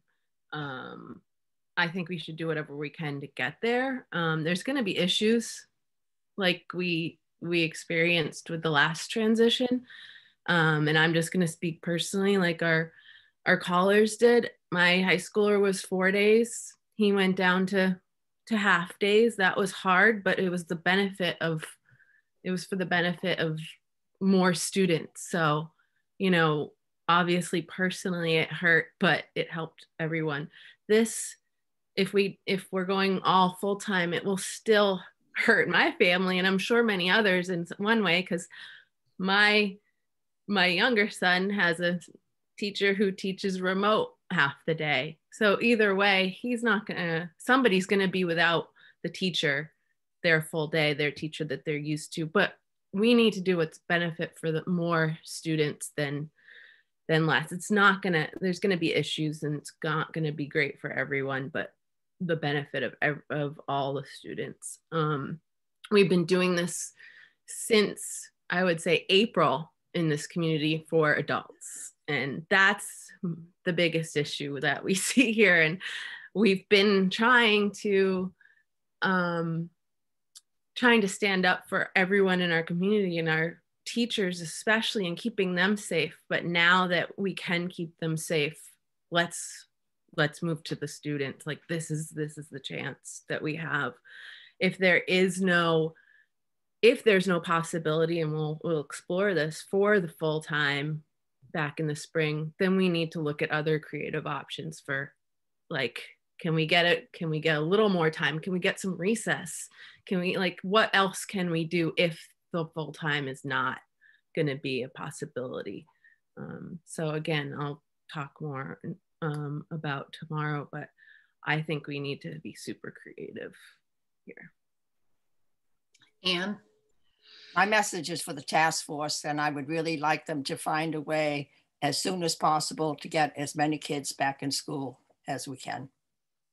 Bottom line. Great. Hope. Oh, and Pip, I'm sorry. See you there. Go ahead, Pip. I'll go Thanks. after you. Um, I, I, I would like to echo what others are saying. Um, I too am moved by all the messages that we've received from the community. I know this, we've been hearing this for a long time, so it's not new, but it has been a year now, and uh, and and we need to we need to get more creative. Um, and I, Tara touched on what I wanted to say, which was at the very least, can we look at if if we can't figure out how to do appropriate distancing with everybody back full time, can we at least look at the, the PD times that we've set aside for the teachers of the planning times that they have right now, like the Wednesdays for the elementary school and the Fridays? Can we at least get them in five days a week at ha- half days in the meantime as we figure out how to get them back full time? All right, Hope. Uh, so I, I just wanted to bounce off of Arden's comments a little bit. Um, and from hearing from the community, I hear a huge cry from the elementary. And I'm not saying that there aren't Portsmouth Middle School and high school parents that want their kids back, or that there aren't those kids that want to be back at those levels. But it certainly seems like the elementary might be a place that we can really uh, get more creative and open up with less complexity of the schedules themselves. Um, at the high school and the upper levels, I have a little more concerns around the complexity of those schedules. I understand that vaccines bring um, openness and, and hopefulness, yet it's not, even though we do focus on safety, it's not the only component at that level. And maybe um, Steve, you could talk more a little bit about some of our challenges that we do have to tease out because I know even moving to half days was a real individualized effort um, for high school schedules. You know, even at the semester breaks, the way the high school is, bringing kids back full time can completely interrupt a class and how that's shaped if it's on a semester level um, with study groups as uh, as well. So I guess from the task force perspective, I'd like to cry out to the task force that if you're going to survey people at an upper level, I, I really want to hear from the students um, because I don't want our good intentions to have negative impacts on um, our high school students, especially juniors and seniors.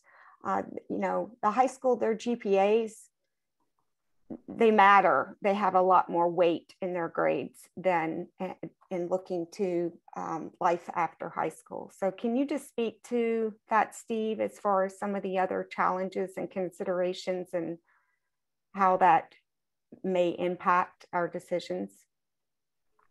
Yes. Um, so first and foremost, as as you mentioned, um, you know, I I would again uh, recognize the tremendous amount of work it took to reshift high school schedules to adapt to the remote learners and, and to make the current schedule work. Um, and quite honestly, I would personally have a lot of pause to shift something that turned that on its head again.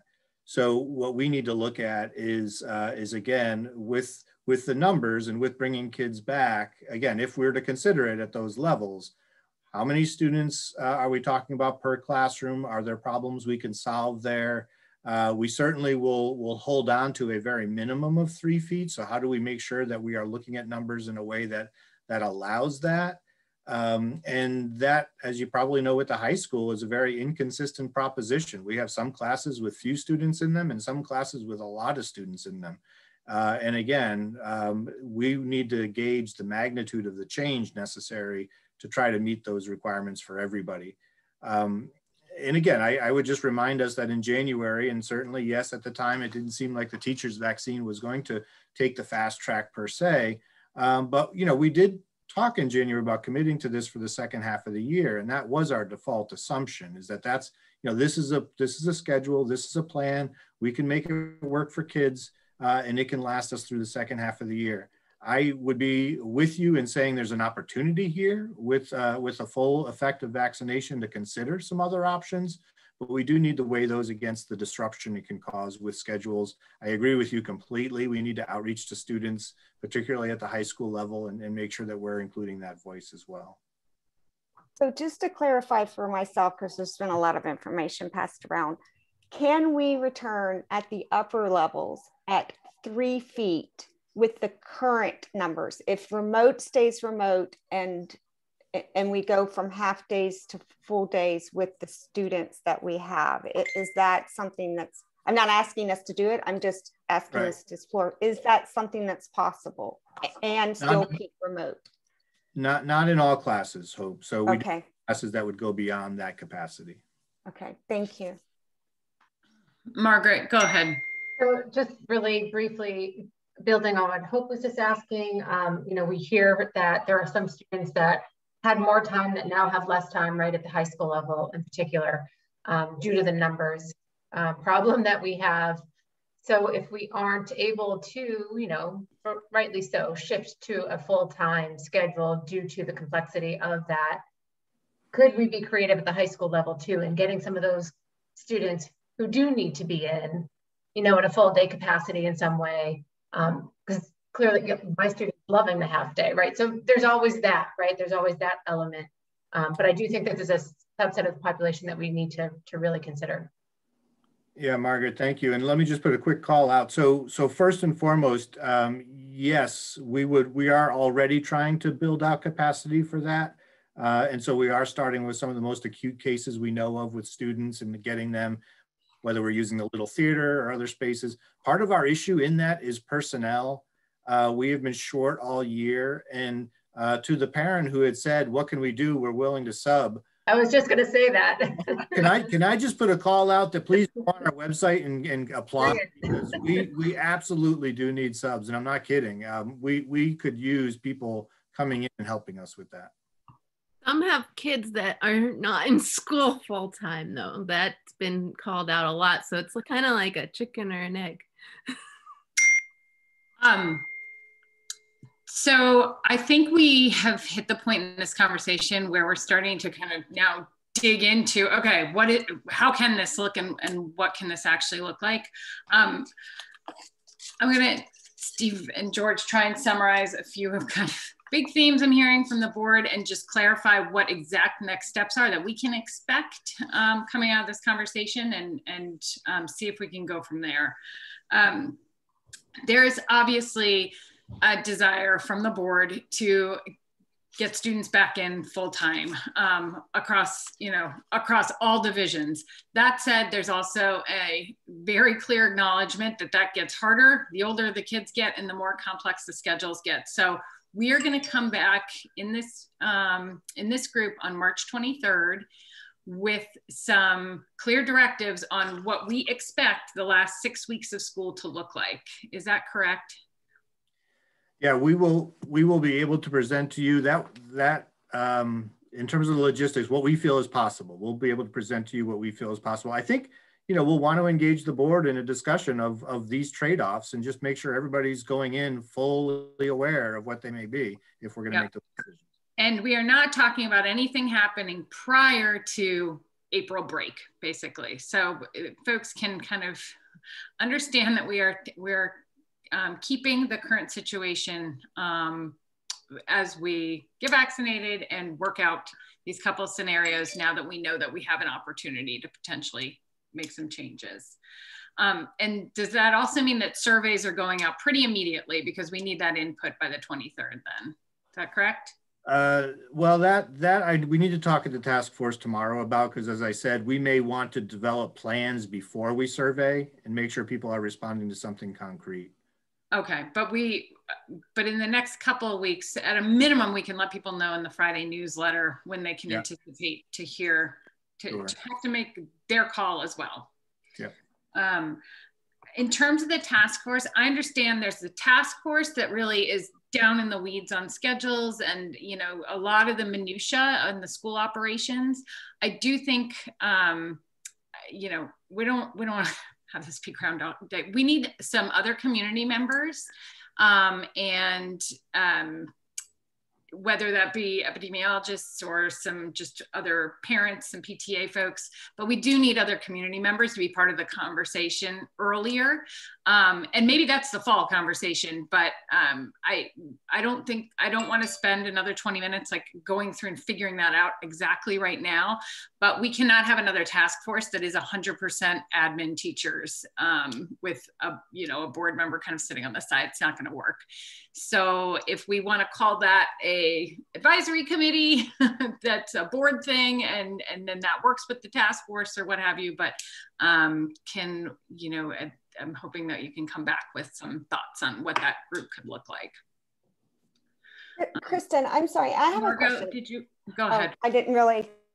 Yeah, I just wanted on that note, Kristen, in light of some of the concepts we heard tonight with transparency and creative thinking, wouldn't it be brilliant if there was a place where people could ask questions and share ideas with that task force and that minutes could be reported out so that we are clear with what things have been discussed which didn't happen the last time around? There are some great ideas out there that that task force may not think of. And wouldn't it be great if we could have a place where may not mean that that's the idea that goes because there's other logistics, but gosh, it would sure be nice if we could gather all possibilities at the right time. Yep, yep, I agree. Hope, did you want to add quickly? Yeah, I did. So um, I feel like we've taken a bit of a curveball with the vaccine an announcement, which I'm totally excited about. But, mm -hmm. you know, originally this meeting was really blocked around um, looking at fall and coming back with a strong fall plan and being able to address the academic gaps and wellness and and format changes that might you know be tested or piloted for the fall and so i'm i'm feeling a little apprehensive about this task force taking on both of those. I, I, like your idea of having an advisory committee, and I feel like these things need to be happening now simultaneously. I, I don't want to see us hash out the spring, you know, for, and then that be, um, unfortunately, I, I, can't say this sensitively, so I'm just going to say it that that our long-term plan for next year be the cost of a short-term fix for the spring. So I really would like to see yeah, uh, that group is absolutely charged with both. They know that. I mean, you're exactly right. I mean, we kind of got new information within the last five days. Um, or, but or that seems like too much for the group to be charged with both. How are they going to be simultaneously working on both things? Um, it's not too much. We've got to have a plan by the end of March for the rest of this year, and then we got to have our fall plan. So I, I think it's not too much, although I do think we need an advisory group to, okay. to work with them. Uh, okay, then I understand you that you're adding the advisory on top of that. Thank you for the clarity. Yep, absolutely. Um, and I hear, definitely hear the idea of having a box or something so that broader emails can come in. Um, I was going to give the same pitch on subs, but yes, somebody already did that. So great, please. Um, every single Friday, there has been a call for hiring um, and it's everywhere. So if, if folks um, have bandwidth to help, like that is the place we need help. Um, and just, just to be clear on our cases too, our cases, when we show graphs and we show things around our cases, there's a, certainly a safety component there that, you know, we want people to feel safe in schools.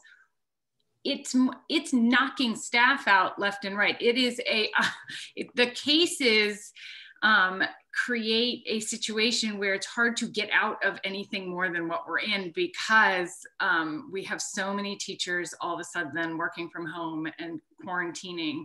Um, so I just wanted to be clear on that, that case point too. Um, it's not just that it's not that we're, we're not hearing the science of it's not spreading in schools, but when we have 27 teachers out, it is very, very difficult to do anything different at the high school. Um, so I just want to underscore that that piece of data because I don't want it to be misconstrued that we think, um, you know, cases are going up and, and it's a massive health emergency at the high school. I think it's more that we, we then can't staff again. Um, we should probably clarify that quarantine did get changed to 10 days. I heard some parents mentioning 14 yeah. days quarantine, but our quarantine for the district, as I understand it, Steve, please correct me, is 10 days. And I, I understand that we're still having discussion around that um, as well, especially as it impacts seniors yeah. and juniors upper level. That is absolutely correct. Um, and, and I was just going to say the one last thing on the upper grades is we kind of suss out, you know, May, May, June is that I, I think we're all of the mind, like we don't have to think all or nothing to the creative point. What what can we do for seniors? I thought that was a great point made earlier. You know what are there are different um, different things that we consider so i don't um, i don't want to kind of leave the conversation with we're being very linear about you know it's an all or nothing play um, for the high school either. But um, tara did you want to add yeah just another quick clear i had a couple of clarifications. I just feel like there's some uh, misinformation and Hope had one. Um, the three foot distancing, it was briefly mentioned, but um, if all of the classes went to three foot distancing, can we confirm that that would not solve the issue. It's not that simple everywhere in every classroom. That wouldn't just solve the problem if we went to three foot distancing only. Right. Now, now with the number of students we'd have in person, we still have problems to solve there. But again, we would work on those. Yeah, I mean, it's going to be part of the discussion, but that's right. not the simple problem right.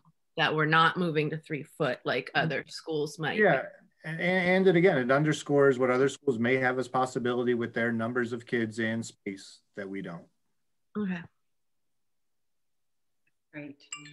Um, so I am going to propose if folks are comfortable that we move on from this. Um, I think we've had a chance to get our thoughts out there and that we've got, um, you know, we've got some stakes in the ground on where we go next. So um, with that, George, I think we pass it over to you. Um, and I think all I'm very up. related. So let's look at some of the academic data that we're, we're Sure. And as I'm trans transitioning here, I'll just comment, we have had some creative staffing um, recruitment efforts uh, that have gone on. Specifically, Jeanette Souther, our, our student services director, uh, did a lot of what she was calling speed dating over uh, February break with some potential recruits that, that yielded some good new resources, some of whom will help staff some of the additional um, high school monitoring um, time that uh, is set to set up next week, I believe. She's been working on that with Principal Lyons. But also, we have a depleted paraprofessional corps, and and that has really um, started to make some headway into that. So I just want to um, say kudos to her for that. While I get ready to share my screen, and sort of speaking of uh, remote sites, this slideshow opens, if it ever opens here, uh, with uh, one of our three schools away from school. This is the uh, community campus site that uh, serves uh, elementary learners. This, in addition to the Little Clippers preschool, elementary site, and the senior center, are our three satellite schools that we have running right now. So, uh, last time I spoke to you, last month I spoke to you about the elementary reading and the middle school math and uh, and literacy uh, data and I sort of present this this work as it comes. Tonight, I will have elementary math, which is the is administered in February every year, and uh, the high school quarter two uh, grade data uh, to present, as well as SAT. Um, although I've had SAT for a little while, but it, it fits with the high school data set. So I'll move through these, and I know you've had some time to stew on them a little bit, so you, you've probably looked at it. And the, question with any data set is or what happens with any data set is you immediately want to ask a lot of questions of it, right? That you you immediately start wanting to disaggregate and and filter through it and find more. And that's that's the work we do uh, as what teachers do. And it's funny, I always I put the data out there, and, and Christian Jeffries wisely uh, advises me to uh, interp- put out some interpretation uh, for it. Uh, and uh, I think it's part of my my wiring in that I usually present this with teachers and, and try to have them enter it objectively and interpret it themselves. So I think that's the thing I'm fighting against there uh, in my in the difference between teachers and a, and a school board. So elementary math. So we do a mid-year math assessment every February and grades one and two take the uh, mid-year EDM math assessment. And you can see this, this data here. Grades three through five take the, the SAS benchmark, uh, the New Hampshire SAS benchmark assessment for a couple reasons. One, it actually takes less class time away uh, than the EDM assessment um, that, that can stroll over several days. Two, it also immediately populates a, a portal uh, of data uh, on the state site that can be disaggregated and looked at uh, almost almost instantly as the um, assessments are submitted. They're also a little more targeted, and so that's why you can look at here's what we're targeting in the elementary school. Just to interpret these, I think I did on the slides. This is uh, numeracy and numbers and operations in base 10, and this is operations and algebraic thinking. And if you're looking for comparisons year to year, uh, you would be looking at leaping like this. So here is this grade three and this grade three would be moving like that if you were looking at the SASs. Now, these are the percentage of students that made the benchmark at those levels. Um, and I think similar to the reading data that I presented last week, uh, on a high level basis. Now, again, our, our teams break these down even further and look at student levels and, and groupings and specific items that they can uh, they can work on um, and targeting instruction towards. Um, similar to the reading, it's it's a mixed bag. There are some ups and there are some downs, and there are no real precipices um, in a in a high level status state. So um, let's say we look at these and provide tier two supports for for students. Uh, also that that are short term interventions for kids. So some kids need a lot, some kids just need a nudge. And that's what PLC teams do is they identify what kids need, how much of it they need, and, and different strategies for giving them uh, that instruction. So, and then they reassess. So as you can see, it's, it's a mixed bag. We do this again at the end of year. Uh, actually, we use the New Hampshire SAS as the end of the year for grades three through five. And also just, it doesn't exist for grades one and two. That's why um, we use the SAS. Those, those interim assessments or the SAS assessments will open in, I think, March 18th for grades three through eight. This is the full slate of uh, federally required assessments that start. And they start, the window opens March 18th and ends on June 11th. So we will have end of year data as well. And that's what uh, teachers use to monitor growth at this level. Just gonna try and move on. Moving on to the SAT. So um, the school year SAT was canceled in the spring. And what the school day SAT is, is that is the 11th graders are required to um, take an assessment for federal accountability um, purposes. About four years ago, it was determined that the SAT could be that accountability indicator for, for 11th graders. It was canceled in the spring uh, because of the pandemic. Um, so they did reschedule it for seniors this year uh, in October or in October of 2020. And I left the detail there as a link. But looking over the years, uh, I think Steve provided these graphs to me for the city budget book. Uh, looking over the years, you can see our numbers. You can see that they're um, pretty high this year. And I don't want to um, sell a bit bill of goods because I want you to see the fraction here is that uh, that 188 seniors took uh, the school day SAT this year, and let me see, that's 188 out of 256 students. So we didn't have the same percentage of participation that we usually have. In terms of federal accountability, we're supposed to have a 95% participation rate with the number of remote students and other pieces and the fact that some uh, of our seniors may have already had their scores that they needed or just felt that this was optional. Um, we have to sell it a little bit more. And we're going to have to do that again for the school day SAT this year for our juniors, which is on April 14th um, coming up. So moving on to grades. Sorry, I'm a little hoarse. Moving on to grades. so this is the distribution of grades of A through academic failure at PHS. And this is comparing uh, 2020 and 2021. You can see they follow a similar shape in general. Again, thinking of sample sizes, I do want to point out what the denominators are for you. That there were in 2020, this is represents 4,391 grades versus 4,046 in 2021. Um, so the denominators are a little different, but you'll notice that the patterns are generally the same and the greatest deviations seem to come down in the lower levels of, of the academic failure piece. Just looking at the grades themselves, and you'll notice my denominator is a little different here because for the previous chart, I didn't put in incomplete and pass just because they're sort of a different animal than the letter, than the other letter grades. But I didn't want I did want to include them because I think it's worth noting uh, noting some of these differences.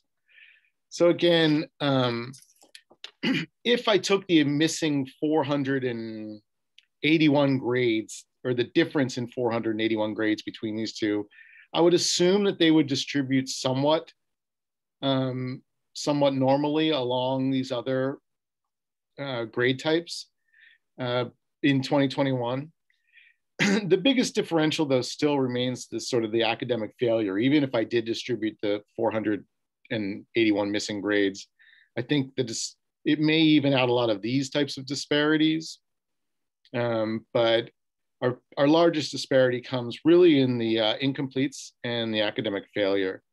Um, I will point out that PHS has already jumped on a lot of this in that we used to have, if you didn't uh, succeed in semester one, uh, that you would have to wait till Clipper Summer Academy to, to, uh, to recover those credits. Um, but they are actually already working on credit recovery with a lot of the students um, that are in here. Um, I think also PHS guidance and admin uh, are really spending a lot of time drilling down into the who, the why, and the where of these failures and, and where are they happening? Uh, what are the cohorts of kids uh, that are they happening with and, and some of the why. And I, will speak to a little bit of the where at our next, uh, at my next presentation for you about where some, most of our failures lie and some recommendations for the, for uh, the next school year at PHS with some some level changes. but I think grades at the high school level are an interesting species. And you've heard me complain about this before because they're not wholly a representation of just learning. Uh, when we look at a lot of other assessments, um, they, they really just measure student learning. High school grades, and I think it's, it's relevant at this time, have other pieces in them right? They have, I think they're somewhat a, a measure of engagement because kids can opt out. They may not comply with the specific number of assignments they have to um, hand in, attendance, and other pieces like that. That, that compliance factors into these grades, and compliance is often a, an indicator of engagement, um, which I know has been something all students have struggled with during all remote hybrid and and even some of the in-person models that that might be mixed. So um, i don't know what i'm saying with that. Again it's something i usually complain about that it's not that high school grades are not a purity of learning uh, purely a measure of learning um, and not all grades are always anyway um, but in terms of assessment grades i think bring in a lot of different variables um, and it's it's tough sometimes to disaggregate those and piece out what's happening. I put in this slide just to show you sort of what I was saying at the at the top that the shapes of the the grades haven't changed much through most of the grading scale. Last year at this time, at the end of semester one, we had 87% of high school grades were A's and B's. This year it's 83%. I think most of us would feel that both of those are pretty high. I'm trying to think. I think that is all I had. So I figured I'd blow through it and then you can ask me questions. So with that, I'll take questions about that. Go ahead, Tara. Uh, thanks, George. Um, I appreciate the discussion about the, um, I, I don't know if you call it the academic failure um, to move to instead of Clipper Academy in the summer to a new um, to a, a schedule this this semester. Um, how since we're a little bit into it, um, are you seeing do we are we seeing success there with have with taking that the classes over again? And to be transparent, I'm seeing it. um, so I just wondered if which was surprising to me. So I'm I'm wondering if it's you're seeing it across the board. So yeah, and just to point out, it's not necessarily taking the, the classes over again. It's really that the child's assigned an academic coach that focuses on the competencies that they didn't demonstrate mastery for. And mm-hmm. I got to say, our our high school team did an amazing job last summer.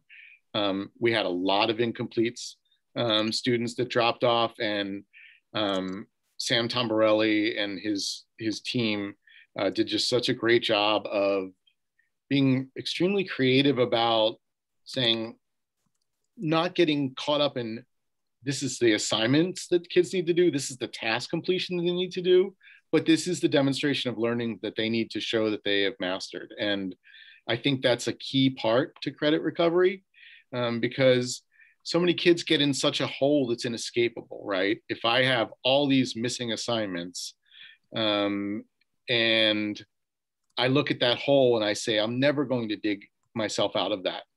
Um, yeah. Yeah. And and often then they won't try, right? And that's sort of the problem with some of our grading that there's 60 ways, 60 degrees of failure in in many grading systems and in the PHS grading scale. Um, but coming up with how can the student demonstrate these competencies and, and show their learning um, and how as a teacher can i provide them with the scaffolds and supports to, to do that i think is a really important approach and, and change of tact in credit recovery. Thank you. Go ahead hope.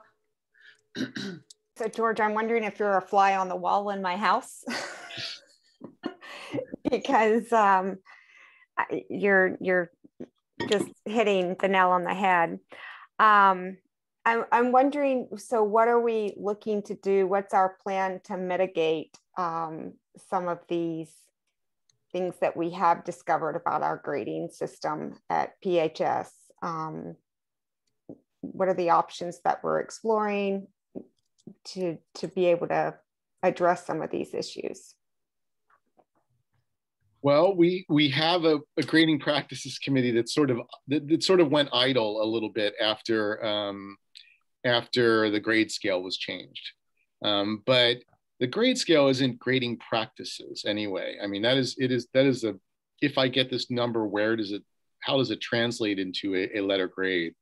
I think you know that there's a lot of interest, especially after having experienced what we have uh, with with the pandemic of of looking at how we can assess kids in different ways and, and what are we really measuring um, when we reflect it in a grade? What's that supposed to represent? I think it's made teachers think about that a lot. I, I don't know that we have a, a formal group going on but I, I, know i'm meeting with teams well next week uh, two teams that we're talking about some changes with and the teachers are talking about it a lot um, about what's the best way to to reflect learning, I guess, in students. Because when you're in a place with COVID uh, or when we had remote learners, you don't have your usual assortment of carrots and sticks. Um, mm-hmm. So if you are entirely reliant on carrots and sticks to get kids to uh, engage in learning, when those are pulled away, you're in trouble. Um, so. I, I also wanted to ask you, um, as we're talking about returning students and even the students that have already returned for a half day, you know, they've made a, they've spent a year making adjustments to remote learning um, and remote testing. I've seen it in my own household of my high schoolers' grades not being as um, consistent as they were pre-pandemic. Mm. Uh, and their feedback has been to me that they're literally having to turn back on um, a part of their brain that they haven't used in a year for paper pencil testing. So I'm my question is how are we thinking about it's especially as a fall return um, of a full return of adjusting kids gradually back into this this you know classroom setting because that is a reality that we also really need to look at because that's affecting and impacting the student testing I hear you. Thank. That's a great question. I honestly haven't thought about like a kid adjusting the pencil and paper much again. I picture this kid just sort of looking at it. What is this thing? Um, but I, I, think a major piece we need to do is just take stock of, in general, what we what continues out of this. Mm-hmm. Uh, what have what have we built that works? And and schools are starting to do that. I know uh, Joanne Simons and I just sat down with a whole product with with a whole with coming up with all these categories of what we want teachers to reflect on in terms of school structure, instructional design, assessment, um, and what are our takeaways and, and curriculum, um, and what are our takeaways from each of those. And I think it's something that um, that I think all of our teachers need to do in their teams and, and departments before the end of this year. Um, even now, um, as we may just settle right into new routines, but it's it's we need to have a big look at at you know what do what do we want to bring with us um, out of all of this.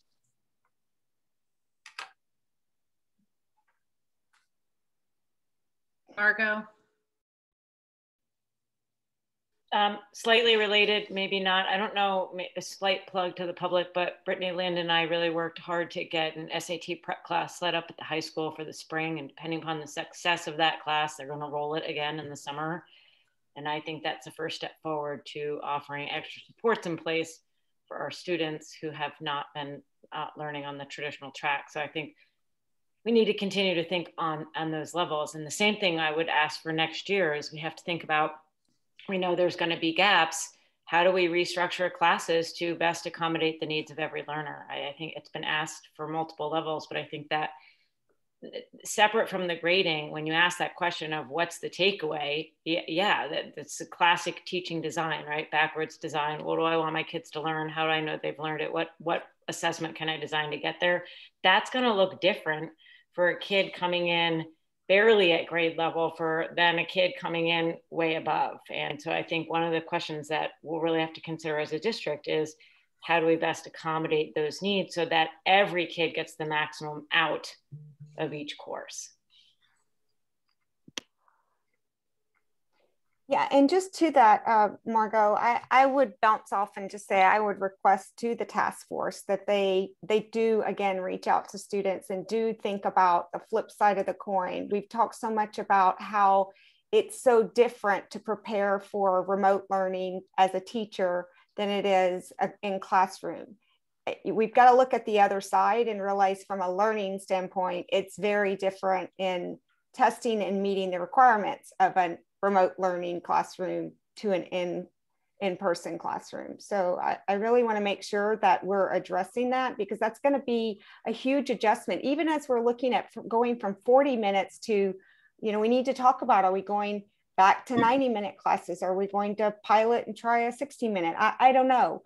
Um, but uh, I know we're speaking at the high school level, but I would echo Margot, even at the elementary level, are we discussing level classrooms. I, I know when my kids were at LHS, we split the classrooms. You teach math, you teach science sometimes, but can we take those kind of tools and tweak out?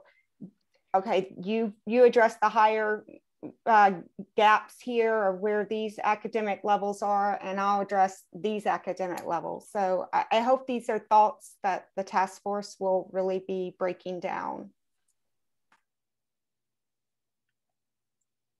Arden. I see Arden. I would just say um, off of that point, even within the level like classes um, at PHS, there is like a wide variety. Some students, you know, took um, like a math course uh, before the pandemic and they got a very different experience than after pandemic. So my math class right now, you know, they're having to address those gaps. Um, you know, some students have a much better understanding of certain concepts than other students do as other concepts got cut for time. And that's happening at like all of our classes. Um, so it's sort of like, you know, any students that got a certain education before the pandemic is very different than, you know, the students that got the cut education. Um, not like it was cut, but, you know, it was certainly different in uh, comprehension. Um, and so I think, you know, that's going to be obviously a, a tiered problem going forward, but like even within these like levels that should, you know, sort of be an indicator of where what a student's like learning is, it's not really, you know, showing that. So it's certainly different the, the spread all around is much wider now. Other folks have questions um, or thoughts for George? I would just say in some, I, you know, that that we're we're very worried and watchful about kids falling off and and and and the academic data falling off with all you read nationally. Um, but again, based on what we keep pulling, we don't see anything, any any precipices here. Um, we see areas of concern um, and pieces we'd like to push, but in the in the pieces we've pulled so far, uh, there aren't any cliffs. I guess the one thing I'd like to say to that, George, is while there may not be cliffs, there may be struggles. Oh yeah, get I'm- up the mountain, and so. I want to make sure. Off, I think Arden's points were just spot on. Uh, I mean, I I know I'm preaching to the choir to you. Um, I- just want to make sure that we're addressing the the struggles um, for students, as like Arden said, a child that you know, student that may have had a different math, taken the same math, but a completely different learning experience. You know, a ninth grader that has is essentially going to be going into 10th grade as if it's their first year of high school because they their whole ninth grade was practically remote like the these are things that we we really need to think and i i also want to um to ask are we considering how we're going to protect the instructional time at the high school, but also across the board, because I know that's something that we've kind of walked away with seeing the instructional time, you know, during the pandemic has been so much more focused and not have drawn distractions and shared with assemblies and, and field trips. And so again, format changes or whatever we need to do to, to protect the instructional time for the fall. Is this a consideration? It is. It's so let me just answer the first part first and say you're right. I mean, the data I'm presenting is high level school boardish stuff, right? And and sort of what you're talking about with all those individuals is, is that's the work. Like that's the work of teachers. And and so I don't want to make it seem like that work isn't absolutely necessary and absolutely absolutely happening. We spend all of our days chasing kids, right? And and and working with kids and and trying to uh, help maximize their learning and their social emotional uh, wellness. Um, to the second part, I hope I, I got to say, as I spoke about Joanne Simons and I working on those takeaways, the first results I saw um, very early on uh, from that New Franklin group was that instructional time protection piece that they felt like they were they were sort of lean and mean um, and and highly efficient uh, in, in their instruction, and so that is a real takeaway. And I, and I imagine when we ask that of other staffs, I think we're going to hear the same thing. Um, so that that protection of instructional time and the uh, administration as blockers from distractions, I think is is an important role for any admin. Um, but I think that's going to be an important piece heading into next year because when we look at these elementary uh, and middle school results, I, I think a lot of it is because of those focuses on essential learning and those that efficient instruction that they've had to figure out how to do. I look forward to how the task force will come up with creative ways to protect that time. Um, that's great. And you know, this is making me think of some of the parent um, emails that we've received also with just really thoughtful insights on the learning at home um, aspect. And I know we're going to do a survey around um, obviously like ton, the operational stuff, but I, I just, how are we planning to collect that information from parents too and and um, more broadly i would and is it a survey? Is it i know we've thrown out um, some ideas about kind of some school road shows over the course of the next month or so where you know steve and and, and whomever pop on to pto meetings or other um, forums and and really just asking open-ended questions you know what what are your learnings as parents? What have your concerns been? And then what do you see needs for the fall to be? Um, and and not be there to give a plan but just um, inviting some of that in I, I think would be an important part of this um, going into the summer planning do we have a plan for that Sorry, there was a there was a question. There was a question in there. No, that, that's a that's a good idea. I, I gave my opinion on what we should do.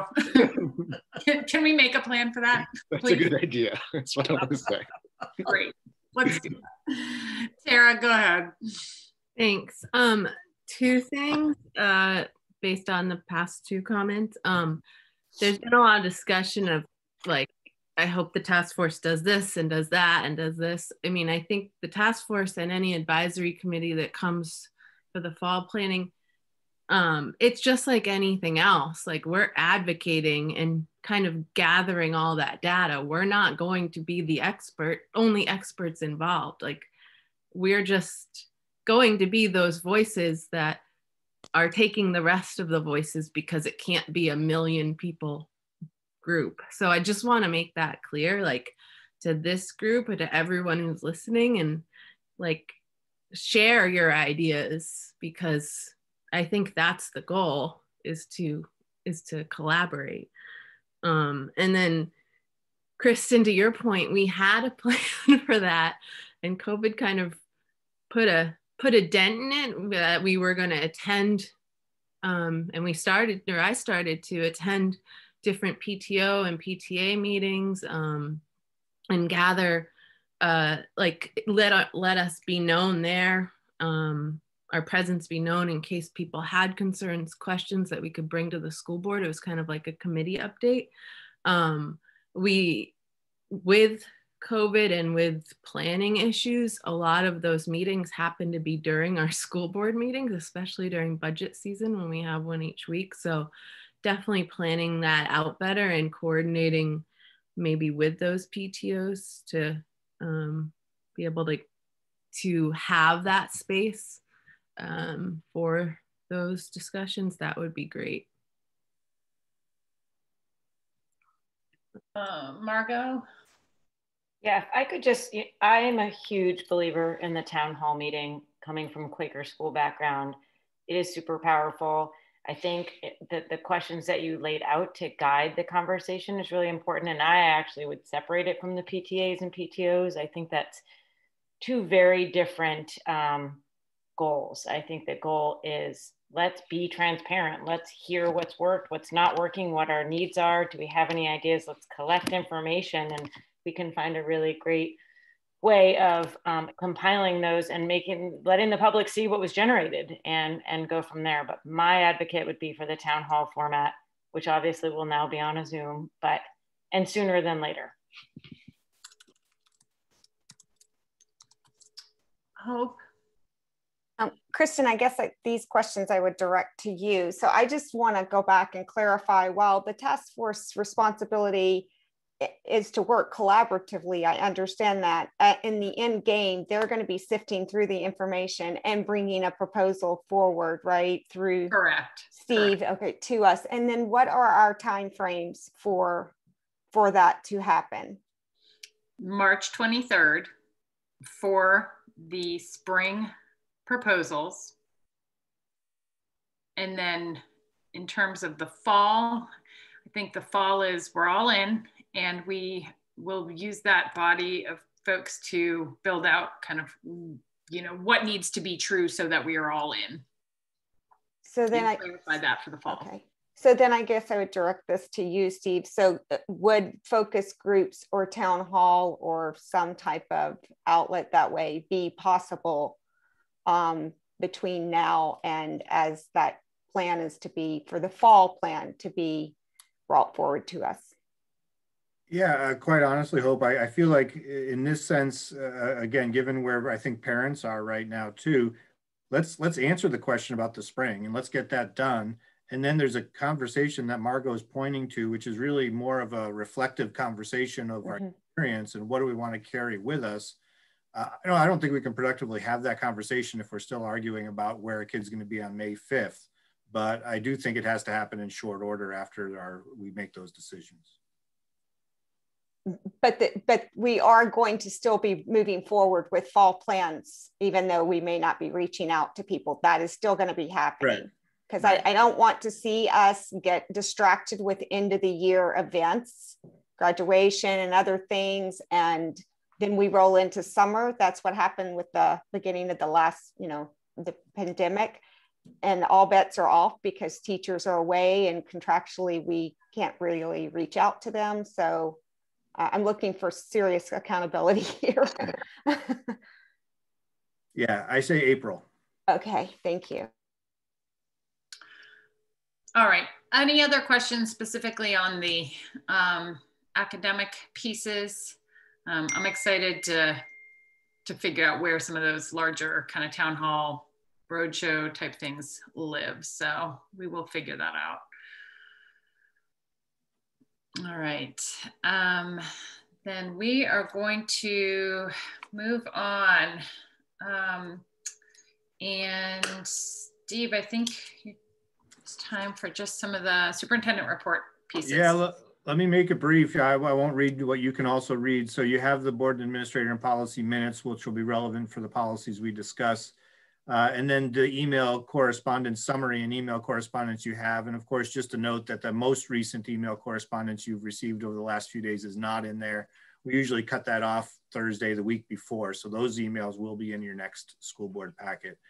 Um, and then the only other item on the, uh, the list there is the FY22 budget update. And as you forecasted, Kristen, this is really more of an update on process. Uh, we have submitted our budget that you voted to the city manager. We uh, have met with the city manager. Uh, and, uh, and as far as we understand, the city manager is making no um, adjustments to our budget currently. Uh, as we present that, it goes to the city council unless Nathan wants to jump in because he's heard something different. Uh, so the budget you've um, voted should be the budget that goes to the city council. And that uh, will be a process that will uh, start in later May, but our time with the city council FaceTime is on May 12th uh, in the uh, evening at 6.30 for their budget work session. So um, they are the, the body now that would make any further adjustments to the budget up or down. And so um, to your earlier point, if people have uh, continued advocacy they want to make around the budget, certainly um, uh, pointing that towards the city council, again, regardless of what that advocacy may be, is certainly the appropriate um, next step. Great. Any questions for anything that Steve ran through? All right. Um, Shifting to new business, then we just have one item. We did want to bring forward the proposed school calendar for next year. Um, so, do you want to talk us through what we're looking yeah. at and considerations that we're still working through? Sure. So the school calendar you have in front of you contemplates a similar start to school year as we've seen in the past. That is the week before Labor Day, of course. You know what, Steve, I'm so sorry. Can you pop it up though? Just, I think it'll be helpful. Sure. sure. Let me. Uh... I'm sorry to interrupt. Thanks. Nope, not at all. Um, just give me a um, while I'm getting this, just again, let me say the um, the the start of school will be uh, would look much like it does uh, now. Um, we, Kristen and I did talk, uh, and and George had mentioned in reference to um, rather than contemplation of, say, for example, an earlier start to the school year. Uh, we'd like to really focus in on uh, what could we do for summer uh, support for students, make sure that that's available to folks. Um, so as you can see here, our, our start to school would be proposed at uh, August 30th um, with three uh, teacher days beforehand. Um, actually something that's relevant in a policy coming up. We have a number of required trainings we have to do with teachers now. Many of them RSA driven law um, required. Uh, and so we actually are inserting an extra teacher day than typical here at the beginning of the year. And some of that would be for some of those required trainings. Um, and then the only other thing of note here uh, is really around our vacations in February and April. Um, just in full disclosure, the draft of the calendar we received from the APT, which as you know in their contract, they draft a calendar and send it to us and present to you um, had the February vacation initially listed at the week of February 21st. And the reason for that was that the, as you can see, the proposed vacation on the week of the 28th really is essentially the first week of March. And so it's, a, it's as late as it possibly can be as the fourth week in February. Um, if we were to move it up to the week before, what we would be is uh, we would then all of a sudden be aligned with Massachusetts and, and Maine and most districts in Maine. Uh, and many districts in New Hampshire are, are debating this right now. So we took a poll of our neighbors to see if we, um, we certainly want to, as best we can, accommodate for the fact that many of our teachers have kids in other districts. Uh, and we find that we're not completely all on the same page. That is to say, we might see um, districts like Somersworth uh, go for that week of the 21st. But we have confirmed at this point that uh, our surrounding districts in SAU 50, SAU 21 Hampton area, as well as SAU 16 Exeter area are all eyeing up the week of the 28th. And so um, in working with um, the union still through this, uh, we would suggest uh, moving that uh, in their recommendation to the week of the 28th, which would be better aligned with our, our neighbors and those that would probably affect our teachers' uh, children the most. Uh, April vacation lands still at the fourth week uh, in April. So it's a longer than usual span between January return to February vacation, but it's a more typical span between February vacation and April vacation. Uh, we have a number of um, teacher service days. As you know, teachers work 187 days. Um, and so we have uh, sprinkled in here where we would anticipate full teacher in service days. Um, with a final uh, student day right now uh, pegged at June 15th. Uh, and again, um, that's, uh, that's where it stands right now at 180 days. and also just to note, we did box in the early release days on here on this calendar. And um, while I certainly appreciate all of the accommodations and all of the complexities of our current situation, one of the takeaways uh, that we have from this is really the power of uh, teacher collaboration and getting that dedicated time. We knew that going into this, but this has really helped carry a lot of the teacher work George has referred to uh, through this pandemic. Um, and so all of that is just to say we feel we need those early release days as much as ever. Uh, but again, we've sprinkled them through to not hopefully interrupt uh, a whole lot of other um, splintered weeks throughout the year. So that is the calendar proposed uh, to you. And this is typically, we're a little later than typical for the school board to consider the calendar, but that's what we bring to you tonight. Questions? Um, go ahead, Tara, and then Nancy. Um, two questions. Um, will the last day mentioned as the 15th or since now we have been using this year um, you know a snow day also a remote zoom day will we be thinking about using that to keep the days down but the day the last day could still change or is it like are we sure because we can be it, it, you know, Tara, it's such a, interesting proposition because, um, you know, what this has also engendered is the longing for a typical snow day. Yeah. So, so I, but we can say things like this. So it's it's right now slated to be Wednesday the fifteenth. I would say we'd be comfortable doing something like we did this year, saying, you know, there's no way it'll go past Friday the 17th. We'll be able to manage that because we'll have mm-hmm. opportunity to call remote days um, strategically where we can protect that day from moving past the 17th. And can we now um like set a date that we can say by, you know, by now are we able to say what the last day definitely should be? And that brings me to my second question. Where do we stand now? I know the latest last day is set as the 18th, and I think we've had one real snow day. Uh, yes, we, we have. Um, so, you know what, I'm going to skirt your question just a little bit tonight, just because it is a topic of our next administrative council meeting. Um, I, I, would give you the, uh, again, the definite that uh, graduation for seniors is pegged to June 11th. Um, but the last day for all other students right now, again, I hesitate to say because it'll be locked in stone, but but we'd like everything to be done that week uh, ending June 18th. So uh, George doesn't want you to answer that set in stone. He's nodding. So okay. Um, when's your administrative meeting? Uh, we have them fairly regular. I think we're going to call one in the next week, actually. Uh, so maybe in a Friday newsletter after that. Yeah. yeah, absolutely. We can do that. Thank you. Uh, I think Nancy and then Margot. I just had a question about election day, but I think I found it. That's November 2nd. Right. Okay. Um, go ahead, Margot.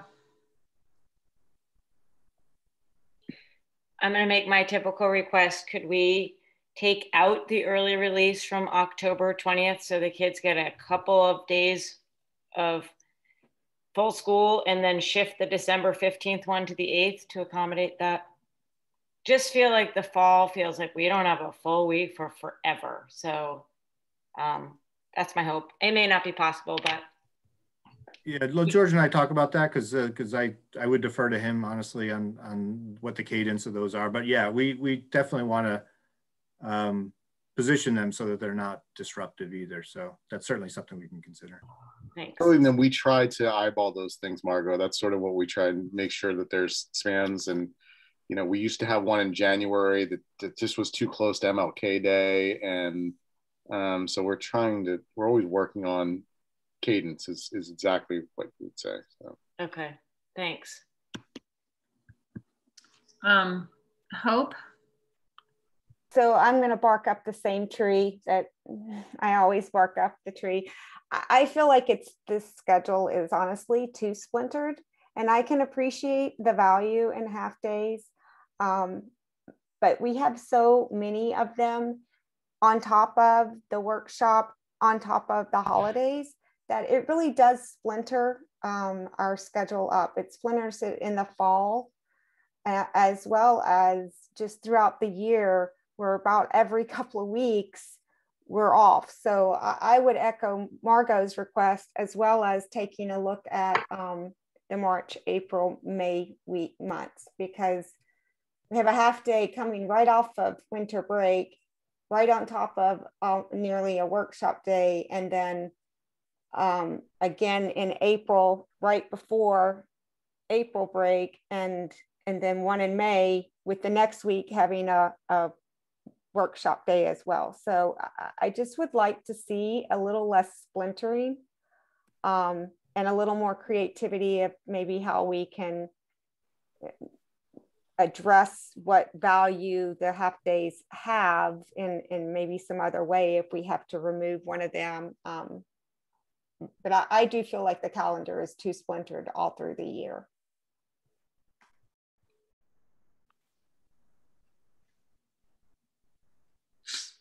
Other comments? Um, this is our first look at this. It gets brought back for a final vote, so to speak.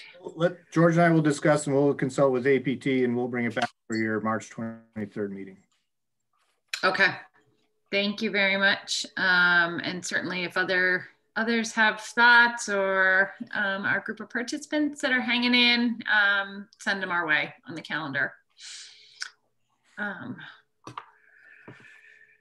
all right, so we're going to look at some policies. Um, and I think the first is consideration approval for um, two single reading policies. That's right.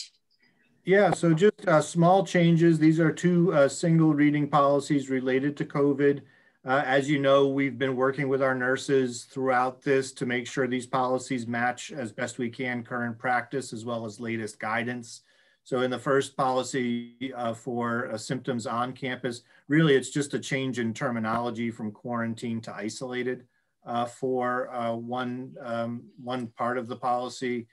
And in terms of the employee travel, it's just to update to the latest guidance, which includes a 10 day quarantine and exemptions from travel for those who are either fully vaccinated or have contracted COVID in the last 90 days and recovered. So um, those are the changes, I believe, for your single reading policies. Nancy? What, maybe I should know this, but what's the difference between quarantine and isolate? Is there any difference? Um, it's really terminology, Nancy. It's really more for the purpose of what it is. Quarantined is is uh, really protecting against contact uh, with others and and um, more in some ways more restrictive. Isolated is really just um, uh, I don't want to say more precautionary, but it's it's a little different. But they essentially mean the same thing. Uh, okay. practical terms. All right, do we have a motion to, and we can then discuss if there's any outstanding things, um, approve both policies for single reading? Second. Thank you, Anne, and then second, Margot. Great. Any discussion? Last questions. All right, let's do a roll call vote to approve both on the single read. Okay, um, Hope Van Epps, Yes. Margot Peabody, Yes. Ann Walker, Yes. Tara Kennedy, Yes. Kristen Jeffrey, Yes. Nancy Clayburgh, Yes. Brian French, Yes. Clues. Yes. Great. Um, and so then we also have two consideration and approval of policies just on, this is only the first reading of these. If you want to. Right. Yeah, so this is a first reading, and these are really more uh, RSA driven, uh, some of the law uh, changes. And so um, we'll come back to these in a second reading also. Um, but the policy committee with Catherine Myers help did um, redraft and update uh, sexual harassment um, in terms of uh, the training of child, sex, sorry, training of uh, relative to child sex, sexual abuse. Uh, this is one of those mandatory trainings I referred to earlier, and so it's really just a policy that uh, that states the cadence of that training and the requirements as defined by law. Uh, and the concussions and head injuries uh, similarly is updated for the latest uh, laws in terms of um, concussion protocols. So. Do I have a motion to um, approve both of these for first reading? Move to approve. Thank you. Second. Thank you, Pip. Second. Um, any questions or discussion? Nancy? What What is a designated volunteer?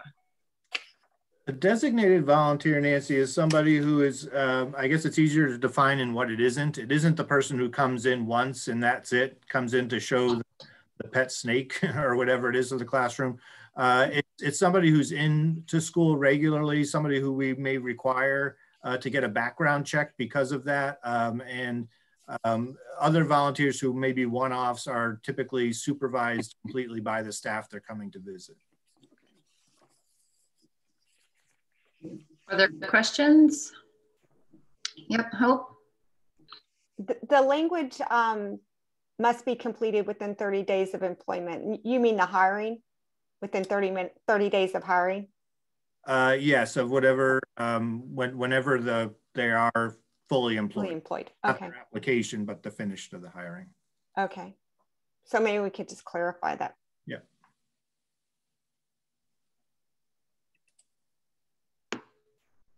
All right. Any other discussion, folks?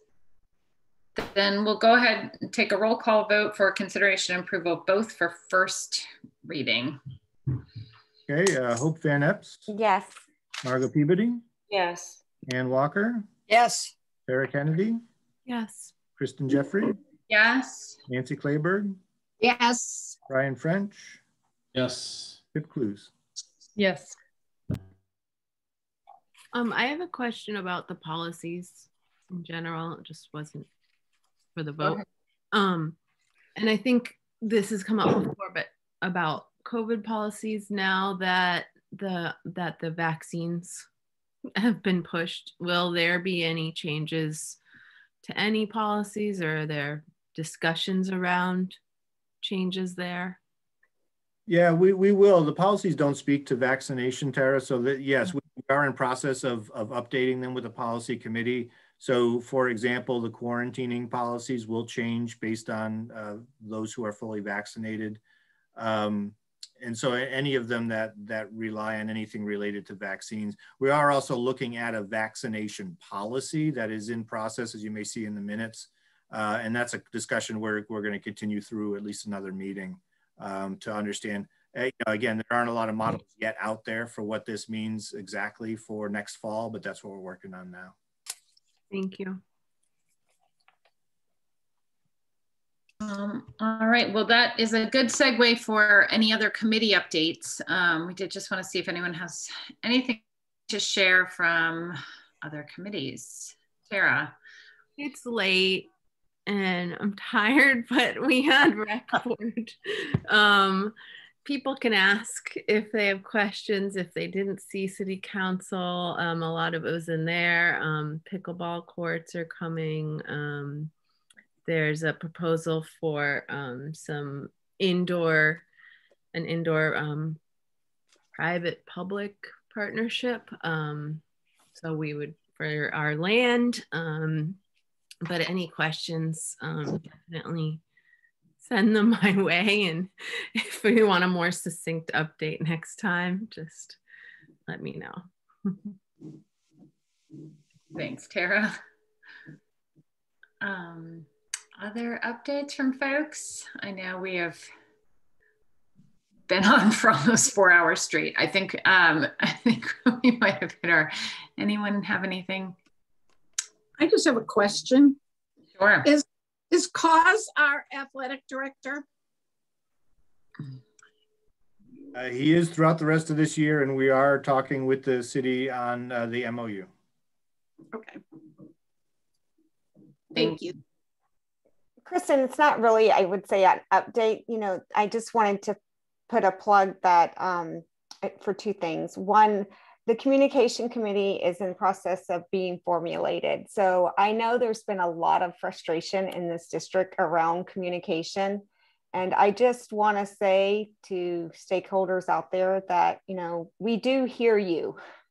We may not always act as fast and you may not always see the results, but uh, we do hear you. So even as this, this committee is formed, I, I hope people understand that's not going to mean things are just going to be, have sweeping changes and we're going to be doing communication um, and in every transparent and correct way. We're really going to be reaching out and looking at where we have gaps and how we can improve that. So um, as we move forward, we look forward to working with the public to improve our communication. That's great. Thank you for mentioning that. Um, all right. Well, um, Kim or Arden, did you have anything you wanted to to share at this point? Um, we ready to wrap up. Sure, I'll just share that um, the high school group that's working with the um, community group that's working on barriers um, and those types of things um, is meeting tomorrow. So we're moving ahead pretty quickly to get the um, Jersey barriers up around the restaurants. Um, Eco Club specifically is working on the planters, um, but there are multiple different groups at the high school that are working on other parts of it. So that's kind of exciting um, group work. That's great. Thanks for sharing. Uh, for We Speak, sorry. Um, we finished up, you know, the the most direct um, dialogues for this school district, and then we're moving on to um, the other SAU 50 um, dialogues, and we're reviewing sort of common themes that we're seeing, um, and we'll go through that and sort of create a report based on our feedback from those dialogues. Great, that's awesome. Thank you. Excellent. Well, um, thanks everybody for for all the conversation tonight um, and Steve and George and our admin that are out there and um, staff. I was, as we were sitting here having this conversation about school plans, I was like, what? You know, I feel like we're in like this vortex of, you know, Groundhog Day. And then I'm looking back on the calendar and I'm, I'm realizing like we just got confirmed vaccination information on Friday. Um, and here we are on Tuesday, you know, trying to reset and make sure that we can finish as strong as possible. And so, you know, could, I know people are working quickly and trying to to, to move things um, as fast as new um, news and information is coming in. And it is like, I feel like it's a fire hose out there right now. So um, I just wanted to acknowledge that and say thanks, um, Steve in particular, but to everyone for for just continuing to um, get things, you know, um, readjust and, and kind of figure out the next step for all this. So um, with that, we'll take a motion to adjourn and hope, thank you. And um, I do not think we need to do a roll call count. We'll all just kind of wave and have a great night. Thanks everybody. Um, we'll, we'll talk to many of you very soon. Bye-bye. Good night. Night.